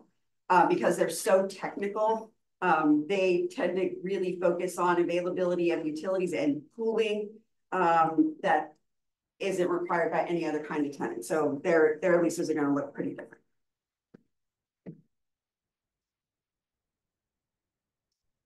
So commercial leases fall into three buckets and these three buckets are based on what the tenant pays for and how they pay it. So we think of tenants paying rent. So if you're paying rent for your apartment, you just pay your two thousand dollars a month and that's it. Um, there is a component of that for our commercial tenants as well. But on top of that, commercial landlords have expenses that they pay to operate and maintain uh, their buildings. And they're gonna wanna pass those costs on to their tenants one way or another. And so the first two um, categories here are, are relate to that. How, how are those, the rent and those operating costs paid for? So a gross lease or a modified lease is, is one where uh, the tenant's gonna pay a lump sum like that two thousand dollars that you paid for your apartment. Um, and not worry about anything else. That number is going to include the landlord's estimation of its cost to operate um, the project for the given year broken down, you know, monthly for payment. And so the tenant only has to worry about one number. Um, they don't have to worry about that changing over the course of the term. Uh, so you're gonna see this mostly in like office leases where they're just gonna pay um, their base rental amount, everything's included. Um, a modified gross lease is very similar to that, but carves out maybe a few categories that the tenant is going to be responsible for on top of that um, rent number. You, commonly, you'll see utilities. So these are things that the tenant that um, tenant may control the use of specific to their space. So uh, utilities is probably the biggest one, janitorial expenses. Uh, maybe tenants want more janitorial than others. Yeah. Is it their own specific utilities or like, Yes. so the building, okay. That, um, good question. Or does that include like communal spaces and office buildings? So when we're carving out costs on a, a modified gross lease, that's going to be specific to the tenant's space. So utilities provided to them. Um, so they may have a set, they'll be able to have a separate meter that, that, so they'll know how much they're using and, and need to pay for every month.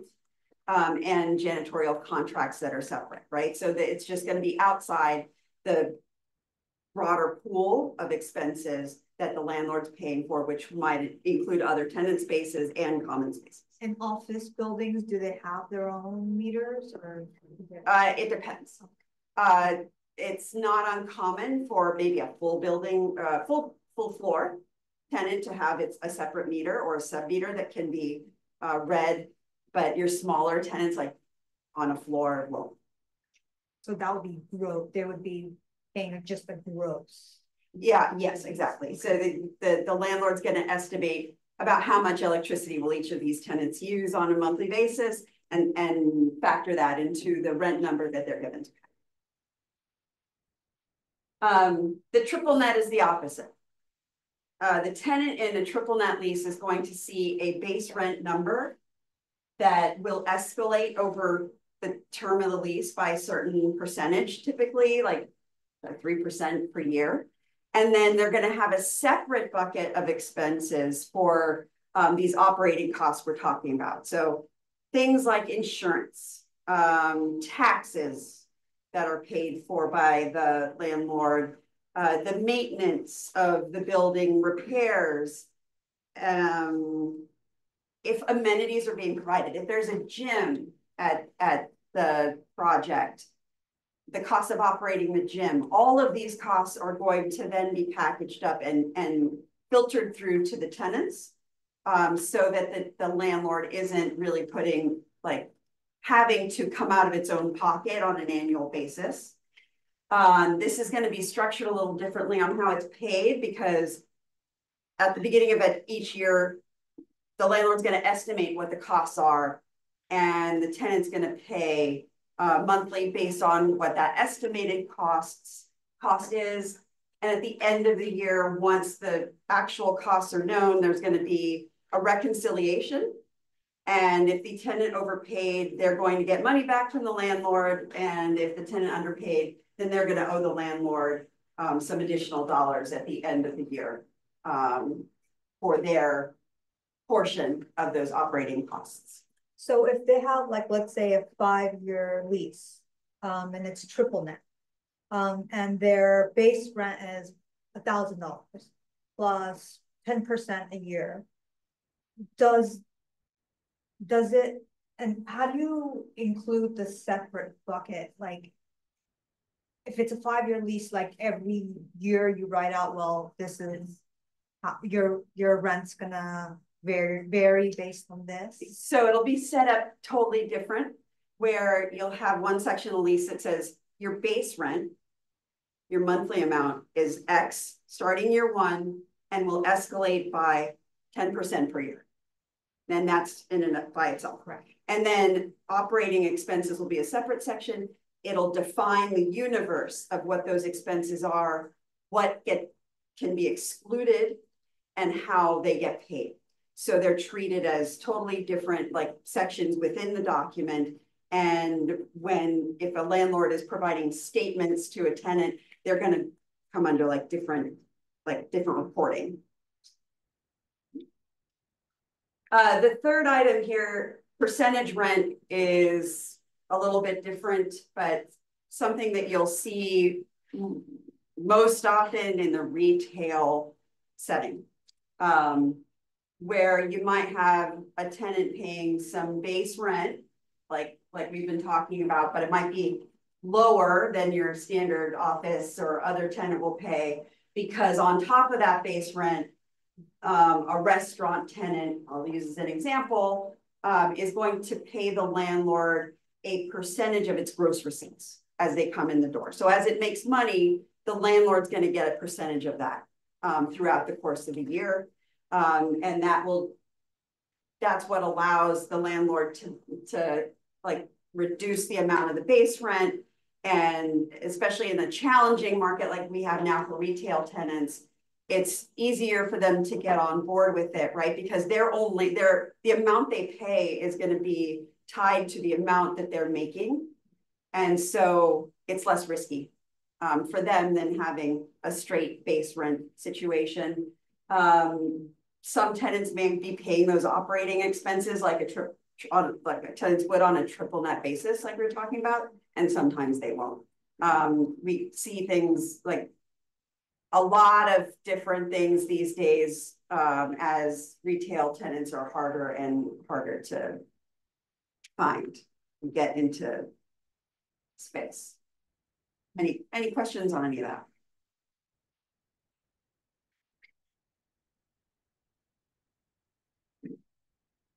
I think we may have lost this.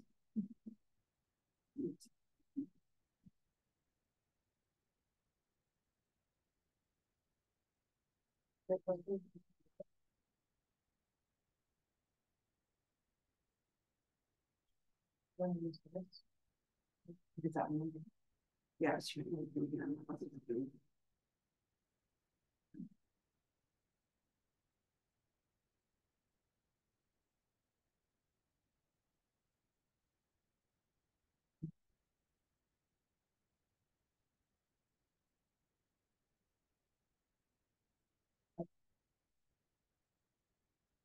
Yeah, thank you. So, yeah. Just real quick, can you re-explain the difference between gross and triple net? yes, so the gross lease is going to have those operating expenses um, calculated within the, uh, one number, the, the rent that the tenant is paying. And under the triple net lease, they're gonna pay two separate amounts, a base rent for the privilege of using the space and a second amount monthly for, um, for the operating expenses. Their, their, um, share of the operating expenses that are incurred each year by the landlord. Like property taxes. Yes, like those pro- those property taxes and things. In the, under the gross lease situation. The landlord is estimating what the costs are and. If they're right, they get their money back, right? They're still made whole. Uh, with, but there's no reconciliation at the end of the year because it's all baked into the just one number that the tenant is, is paying over the course of a year. Um, so you know, leasing, pretty simple. There's two sides and each side has its own set of objectives. And so in terms of what the landlords are trying to do, um, maximizing rental income, uh, that's a, a pretty, pretty obvious, um, pretty obvious one. High quality tenants. Does anybody have a sense of why it matters that the, what quality of tenant you have in your space.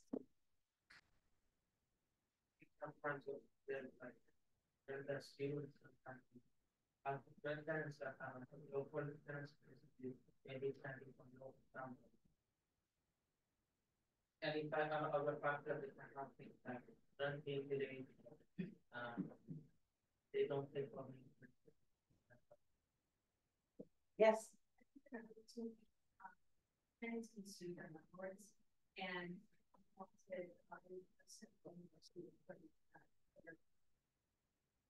Yeah, but so both, both good answers. Um, good credit is really important. Cause you want, you want your tenants to keep paying, um, their rent, uh, throughout the term and hopefully avoid defaulting, defaulting them.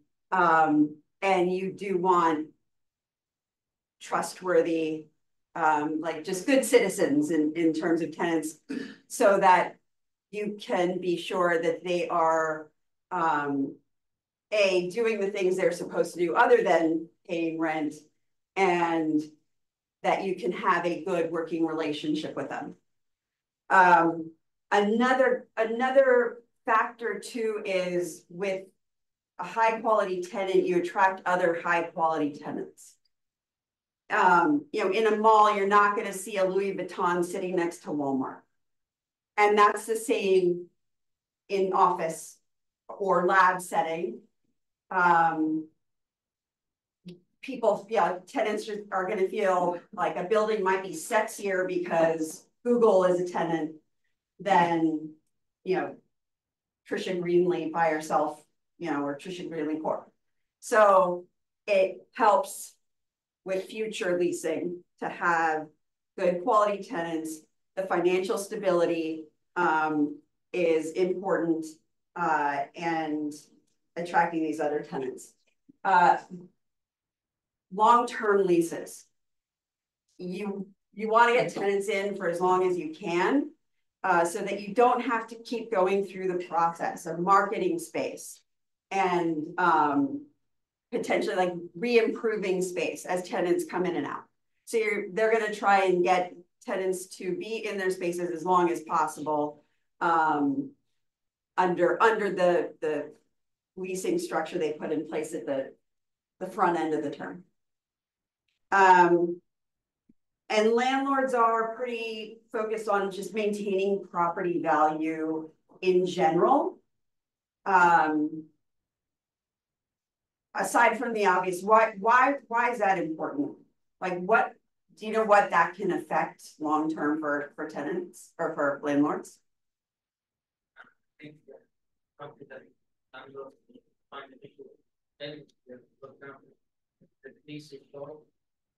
Person does not want to make the renewal for the lease. The process of finding a new person to make the a a the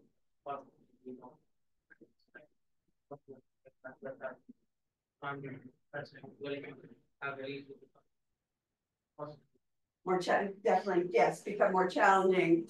Um, when, when landlords go to, um. Finance, get financing on their property or go sell. Right, the, their buyer or their lender is going to look at their tenant list. And be focused on, on these things as well, the tenant credit quality. Um, and so that may affect what they can get in terms of financing, how much they can sell for. Um, and, and so those are important factors. And then limiting liability and risk. So we talked a little bit about that. Um, landlords don't want to have to worry about you know, loss to themselves, losses to their tenants, being sued by their tenants for anything. So we're generally focused on a, you know, making sure everyone's got insurance in place. That's always going to be a requirement under the lease, right? Because from my perspective as a landlord attorney, um, if there's a loss, if if someone goes in and destroys a tenant's, all of tenant's property, uh, we want the tenant to look to their insurance, not to, not to us as the landlord. So we require them, the, all of the tenants to maintain certain types of insurance for that reason. On the flip side, if one of the tenants decides they hate us as a landlord and burns the building down, uh, we're gonna be looking to our insurance to be made whole. Um, but we've got a lot more risk on the tenant side, right? Because they're the ones actually in the building. Um, operating and, and they're on a daily basis. The presence of a landlord is pretty limited. Should we, um, if we have like a commercial property, should we be asking the tenants for proof of insurance on a year-to-year basis? Yes. So oftentimes, well, it. Commercial landlords are gonna either require the collection of a certificate of insurance at execution of a lease. Or at the very least, before the tenant moves in. Because we wanna make sure they're insured over the course, and then the lease would contain requirements that. They deliver updated certificates of insurance, um, prior to the ex, the renewal expiration of their existing policy. Um, and the last thing, one item that's not up here, like landlords are gonna wanna maintain flexibility and control over their own property, right? So if they wanna put more buildings on, uh, uh, on land that they own. They're not gonna want tenants to have rights that might preclude them from building new buildings, remodeling the one they have and things like that. So that, that's an additional objectives that landlords often come in with. Um, so some of these on the flip side, like while the landlord's trying to maximize its income, um, tenants are always trying to get the best deal. Right? Um, office tenants have a lot of leverage right now, as you can imagine, because there aren't a lot of people looking for office space. They're getting much better rates than they were in twenty nineteen. Um, and so they can find some pretty good deals. They, they're also gonna want to try and control cost. Like those operating expenses that we were talking about, um, they're gonna try and negotiate with landlords to try and exclude as much of those costs that the landlord incurs every year from what they have to pay. Or cap them somehow over the course of their lease. Um, this becomes really important in the context of big thing, big items of equipment that will break and becoming and are expensive to replace. So a, an HVAC unit on a building, if that goes out, uh, your tenants are gonna, if they're triple net tenants, they're going to pay a portion of the cost. Uh, to replace that HVAC, the cost is high, that might be amortized over the course of their lease. Um, but if a tenant is going into space that they know the HVAC unit is already fifteen years old, they may say landlord like. We don't wanna have any expenses associated with your replacement of this HVAC unit, cause we know you're gonna need to replace it soon. So things like that come up and get negotiated by, by tenants. Um. High quality space. We talked about, you know, for, in the office setting. Uh, people wanna attract employees, they want people to come into the office, so. Um, the spaces are getting more creative, more light, like more glass and light so that. People on the interior can, um, have natural light. So they're becoming a lot more accommodating.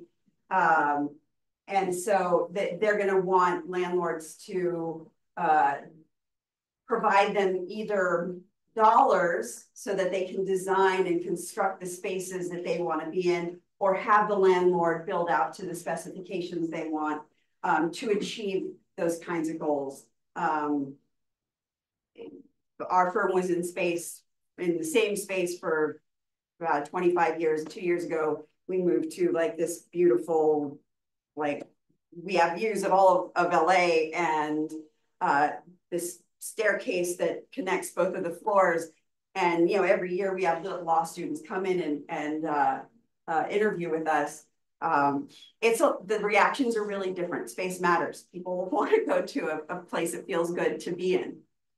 Um, tenants are gonna wanna control not just their space, but um of their ability to stay in that space. Um, beyond the original term of a lease. They may want to be able to control other space in a building. If they, you know, want to, they think their business is gonna grow. So they're gonna wanna try and get as much control over uh, other space, their existing space, uh, as they can throughout the course of a, a term. And they're gonna wanna do it all with the minimum responsibility. They're not gonna wanna do much more than maintain the four wall, you know, like four corners of their space. They're, um, unless they're in a full building, they generally won't have to be, but they're gonna wanna make sure that the landlord, someone's responsible for keeping up um, the common spaces and the systems that are serving their spaces so that they don't have to worry about like utility shutdowns um, or things, things breaking, going out of date and things like that. Um, and then, you know, from a legal perspective, tenants are always gonna look for something called quiet enjoyment. Which is something that says, like, means. No one can come in and disrupt the tenant's occupancy. Of their space, so long as they're not in default under their lease. You can't go in and kick them out, you can't do anything that would um interrupt their ability to do their business in the space. And so that's something that tenants are very focused on having. Any questions on that? What was that called, the last one? Quiet. uh quiet enjoyment? Enjoy. Yeah.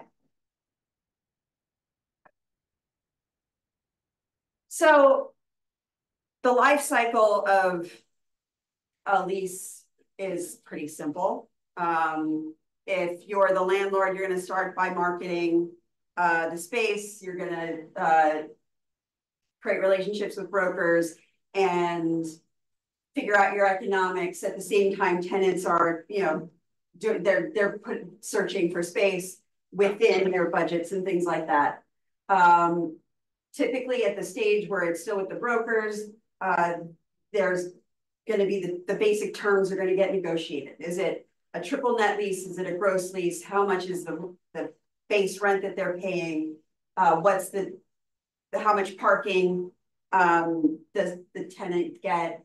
And all of these things are gonna get, um, noted in either a letter of intent or a term sheet, um, that is used to draft um, the lease document itself.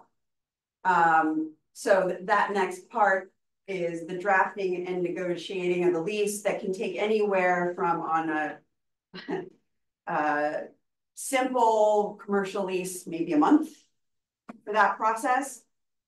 To over a year, depending on um the size of the space, um the the. Uh, strength of the tenant and things like that. Um, I think that. We worked on. The Moderna has a building in Cambridge that is their new headquarters. Um, and we did their lease. I think that took about nine months to get done. Um, they wanted, you know, a fair amount of control. It was their own building, so. Um, and then once that's all done and a lease is signed, uh, the space is gonna get prepared one way or another for the tenant's occupancy. That could mean anything from just paint and maybe cleaning up. What the, you know, prior tenant has left in there to, um, new, brand new improvements, demolishing everything that exists in a space. Uh, and building it, building something new that fits the specification of your new tenant. Or building a new building out of the ground, so this can mean a lot of things. Um, then once, once a landlord is in a position to deliver that space to the the incoming tenant. Um, you've got your occupancy, your tenant moves in, um, depending on what their lease says, they're gonna start paying rent, they're gonna start paying those operating expenses, everyone's happy. Um, and hopefully you're on autopilot. Um, by the time you've gotten there, unless, um, you have things like defaults, um, or, or a bad landlord not, not doing things it's supposed to do to maintain its building. Yeah. So when a landlord has a property and they hire you as their attorney, you go to the broker and tell them this is our terms, and then they advertise that to potential tenants? No, so, good segue. Um, our role can be different, and so we may get involved that early. Um, so that we are working with the brokers and the owner. Um, no one's gonna ask me what the economic term should be, right? Because I don't know that. They're gonna give me the basic economic terms, but when it comes to maybe like, what are we giving? What should we give this particular tenant? What does it make sense to give? What's a market? Um, a market term to give, um. Or how should we structure if we, if we're trying to achieve a certain budgetary goal? What are the different ways to structure this transaction for us to get there? Um, so we might be involved at that early stage and then preparing the letters of intent. Um, and term sheets with the brokers or without the brokers. So, so, so, and other times that's all done and baked by the time it gets to me. Um, and, and I'm just gonna draft the lease based on it. Um, the preference on, from the attorney is generally to be involved, right? Because no one's really paying attention to the things I really, really care about on the legal side. So we'll see things and have to correct them. And people don't like to see terms change from their term sheet or their letter of intent in, into you know, the lease, um, which, which can happen. Um, so if, if we haven't been involved in the preparation of that proposal, then um, we may review it before it goes to the tenant and be negotiating it back and forth with the tenant um, or not. Um, but once that's baked, we were we are going to prepare the lease document itself and and negotiate it through to completion. And that means working oftentimes not just with, I mean, we work with the brokers, we work with the owners, we work with the asset managers who um like give us information about the buildings. We're gonna sometimes get involved with the construction people if there's going to be construction of some sort, because we're gonna have to worry about how that's all reflected in the document and that it's reflected properly so that when everybody signs, um, they know what direction to go in, right? And that we don't have any arguments. My my life is is all about avoiding argument. Um, so preserving the client's interest. I mean, that that's the biggest key. And then sometimes they're on the tenant side more so than mine. There's going to be maybe tenants or tenant land uh, attorneys will be conducting due diligence on the space.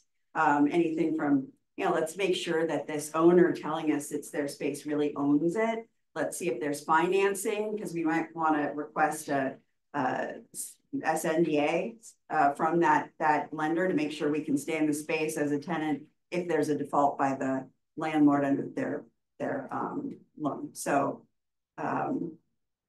That's it. And you can represent both, either party, right? Whoever hires you, you can represent the landlord or you can represent a tenant going into the space. Yes. Yes, Yeah, either or, not both, right? probably not, yeah, typically not both at the same time. Alright, thanks, Trisha. Alright, we're gonna go straight through into uh finance. So give me a second. Slides.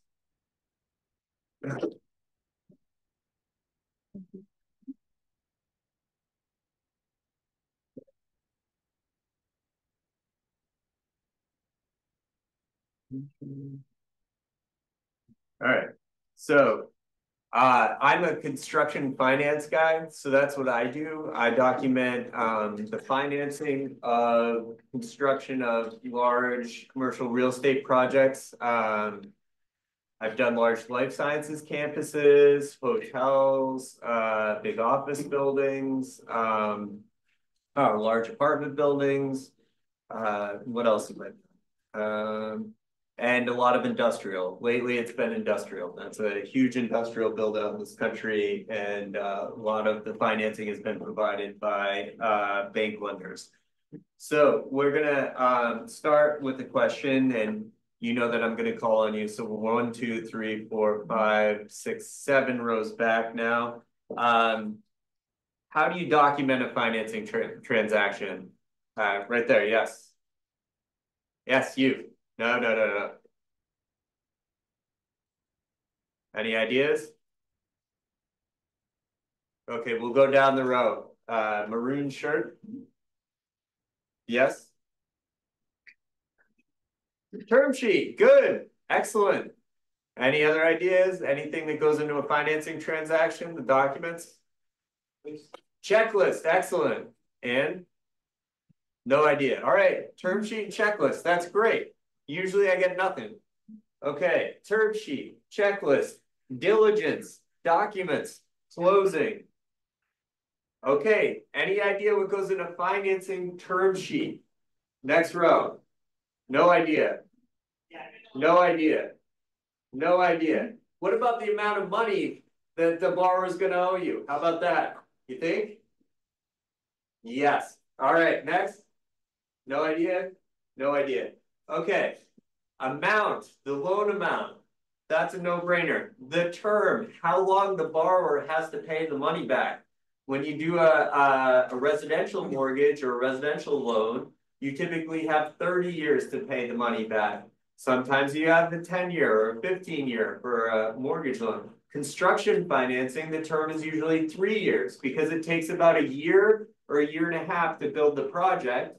And you, but you give your uh borrower or the developer enough leeway to get it done in three years, and then you usually have two extension options of one year each. Now refinancing that property that's just been built, if it's an industrial property or a retail center or a hotel. When you refi, you could have a term on your loan of three years, five years, or ten years. Ten years is usually the longest that a commercial lender will go on a refi. Extensions, you wanna figure out how many extensions your borrower is gonna have if you're the lender. Uh, and you can negotiate extensions of the debt if you're the borrower. Fees, you wanna figure out how much you need up front, how much you need on the back end for fees. Uh, oftentimes you can defer interest and just tack it on as a make-whole premium at the end of the loan that gets paid off with a balloon payment at the end. In commercial real estate, financing usually is interest only, and then the principal is due at the end. When you have a mortgage on your house, typically you're paying principal down as you go. Okay, so that's very different than having a balloon payment at the end. And the idea with commercial real estate is at the end of your loan, you're gonna refinance it and keep refinancing and the property value is gonna keep going up. And you'll pull a little bit of money out to improve your property and to get some profit. So fees, interest, when the payments are due, are they due on the first? Are they due on the fifth? Are they due on the tenth? How much interest are you charging? Are you tying it to SOFR? Everybody uses SOFR now. They used to use LIBOR, but LIBOR turned out to be rigged. SOFR is probably rigged, but we use SOFR now anyways, okay? So SOFR plus a spread. That's interest and payments, diligence requirements. It's the same diligence requirements basically for PSA or a joint venture. You're gonna wanna see all the documents that are on title. You're gonna wanna see all the documents that aren't on title. You're gonna wanna see all the entitlements if it's a construction project. Uh, you're just basically gonna request everything if you're a lender and you're financing a property. And if you're a borrower, you can expect that your lender is gonna request everything, including your financial statements, your tax returns, just everything. You're gonna have to open up about everything. Confidentiality, there will probably be confidentiality in your term sheet. Because you don't want, if you're a lender, you don't want your borrower going out and getting a better quote from another lender. Once they sign that term sheet, you want them locked in with you for ninety days, what, however long you're gonna keep them, um, and you're gonna want everything to be confidential. Um, binding, non-binding, usually term sheets are non-binding, but certain provisions like confidentiality and exclusivity are binding. Deposit, you're gonna wanna deposit for your due diligence to cover your costs, your opportunity costs, you're tying up your, your employees and looking at this property. So you need a deposit to cover up your costs. And a breakup fee. Okay, you can, you can rig your term sheet, so it's really hard to get out of by having a high breakup fee. Okay, but somebody might not want to enter that term sheet because you're having a high breakup fee. Um, so, you know, usually you end up somewhere in the middle on a breakup. Okay, what goes in a checklist and constitutes diligence for real estate finance transaction? We're now second to last row. We'll start over there. Yes. Any ideas? No, next. No idea. Nothing to put on the checklist. Next. What about the documents? Maybe a list of documents? Yeah. What, what'd you say? Financial statements? Income statements, good, yeah, that's one thing you could put on there. We got, usually I get nothing, so income statements, good. All right, documents, title, survey and zoning, org chart, organizational documents. Okay, so you're a person, right? But if you're in the real estate world, you've probably formed some LLCs. You might have a trust at the top of your organizational chart. And then underneath that trust, which has the trustees as you and your family members, you probably own a corporation or an LLC or an LP, which then owns other LLCs. So you have an organizational structure with business entities involved. And that's the, and that any lender is going to ask you for a chart of all those business entities showing ownership up to individuals or up to a fund in which investors have invested. Uh, legal opinions, you're going to want legal opinions as to the enforceability of your transaction and the authority to enter into it. Property reports, property level contracts, closing documents, financial information, tax returns, searches, and background checks. Right, you got, there are companies that run searches, bankruptcy, uh, litigation, and UCC searches. UCC is the Uniform Commercial Code. And so when you take a security int interest in any property, real property or non-real property, to have a perfected security interest or security interest that has a, um, a heightened position in line if the borrower files bankruptcy, you have to file a UCC, a, a Uniform Commercial Code financing statement with the Uniform Commercial Code Office or the Delaware Secretary of State's office where either the state or the county is where you file the UCC, and that will perfect your security interest in the property that if you are a lender, you're taking a security interest in. All right, so that's uh, searches and background checks. What are your finance documents? Any idea last row? What you would include if you were documenting a loan on commercial real estate? No? No? Nothing? Yes. A loan agreement, very good. Okay, a loan agreement. You're gonna want a promissory note. The promissory note is the promise to pay. You always have to have a promissory note in a financing transaction. You can't roll it into your loan agreement. It's one document that you absolutely must not roll into your loan agreement. Deed of trust. You also want a deed of trust that you're going to record. And when you record a document, anybody in the world can discover it. Okay, newspapers, whoever they want, they can go down to the county recorder's office, pull that deed of trust and see who has a lien on the property. Right? So you don't want all the terms of your deal in your deed of trust because everybody's gonna be able to see that. So you keep the terms that you don't want visible to the public in the note or the loan agreement. Then, as Alex said, oftentimes, uh, the Blackstones of the world will form single purpose entities, LLCs that only own the property that you're lending against. What happens if the value of that property goes down? Well, they all, that's all they have, so you're not getting paid back. So maybe you get a guarantee from somebody that actually has some assets that aren't the property. So an up to your entity, like a fund or an individual or an individual investor, that could be your guarantor. And a carve out guarantee is also called a bad boy guarantee.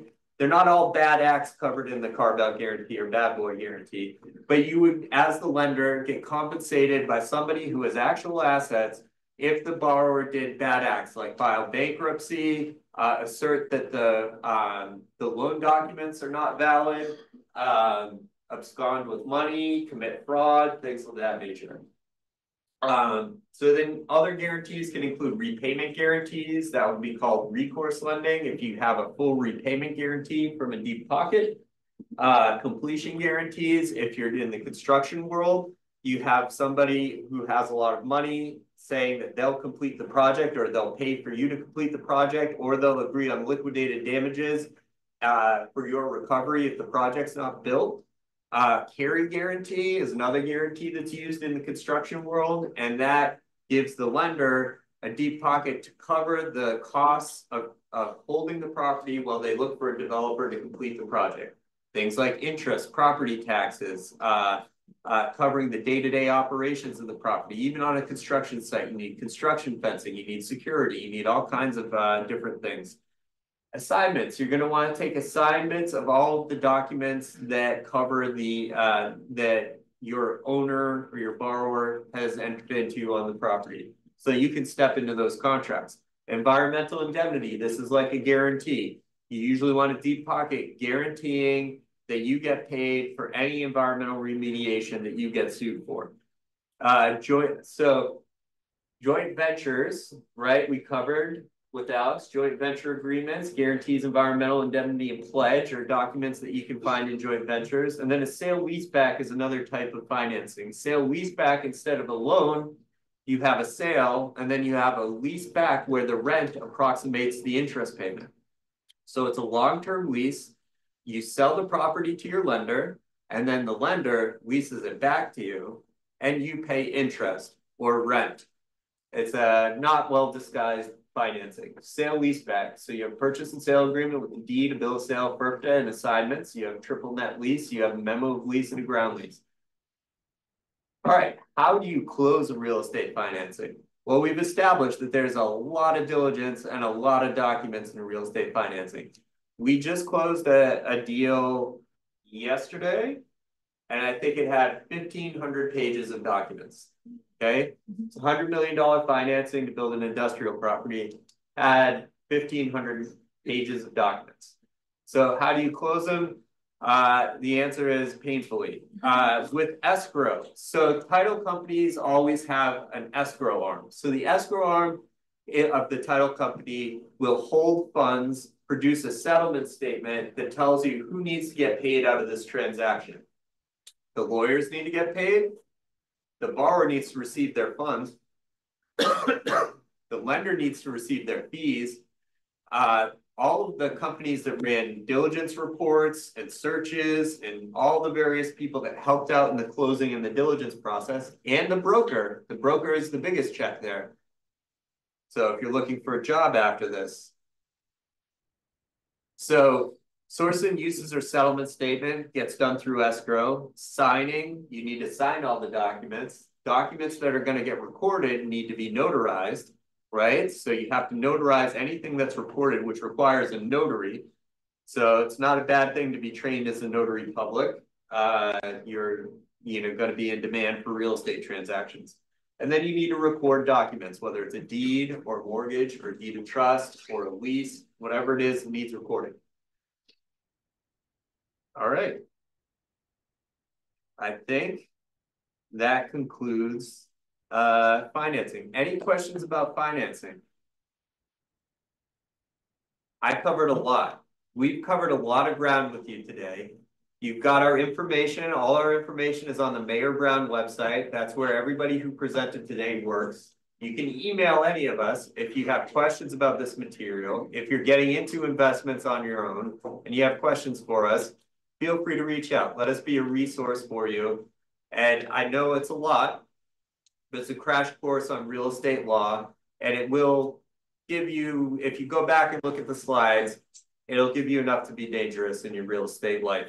Okay? So, yes, Where is this crash course? In the slides. Oh, it's like. That was what you just sat through. Okay. Yes, Um, I have a question about like. The companies like Blackstone and like the separate entity like LLCs that they might own. yeah, So let's say like. Um. They own a separate entity that um has title to like a nursing home.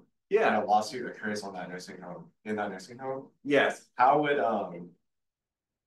Blackstone like prevent tracing to the the parent company of like a separate entity LLC?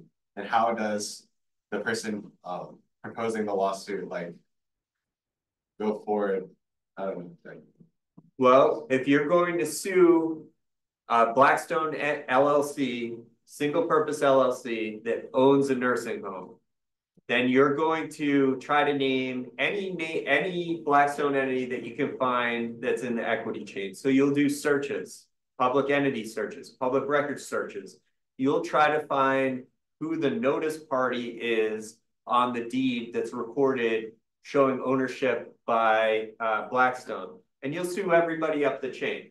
Now, is everybody up the chain liable? Probably not, right? That's the whole point of the LLC is it isolates liability at that level. Right? So unless they are acting as an agent on behalf of the LLC. They've probably isolated themselves from liability and everybody who's trying to sue. Is that what they're gonna get is the nursing home itself, which they wanted to sue. Any other questions? They wouldn't be able to sue Black. they would just sue that specific. Oh, no, you can sue anybody.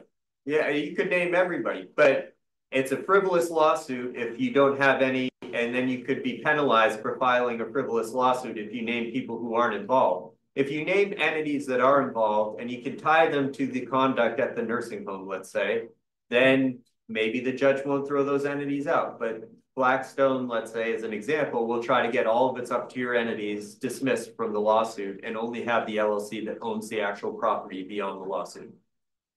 That's kind of the point of the single member LLC, single purpose LLC is to isolate liability and isolate a bankruptcy. Cause then it files bankruptcy. As soon as you sue it for a large amount of money and there's like legal liability. Any other questions? Okay, well, thank you very much. Uh, do we have a QR code? Okay. Yeah, I'm sure that, but let's get people.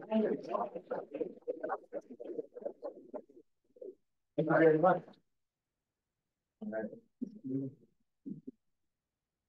And then I did want to announce to everybody that um we have had some issues with the attendance on our data side. Um, so everybody is in the system and we're trying to figure it out, but there's like three hundred names and we just have to figure it out with the data team. But um just wanted to let you all know that those issues are being resolved with attendance.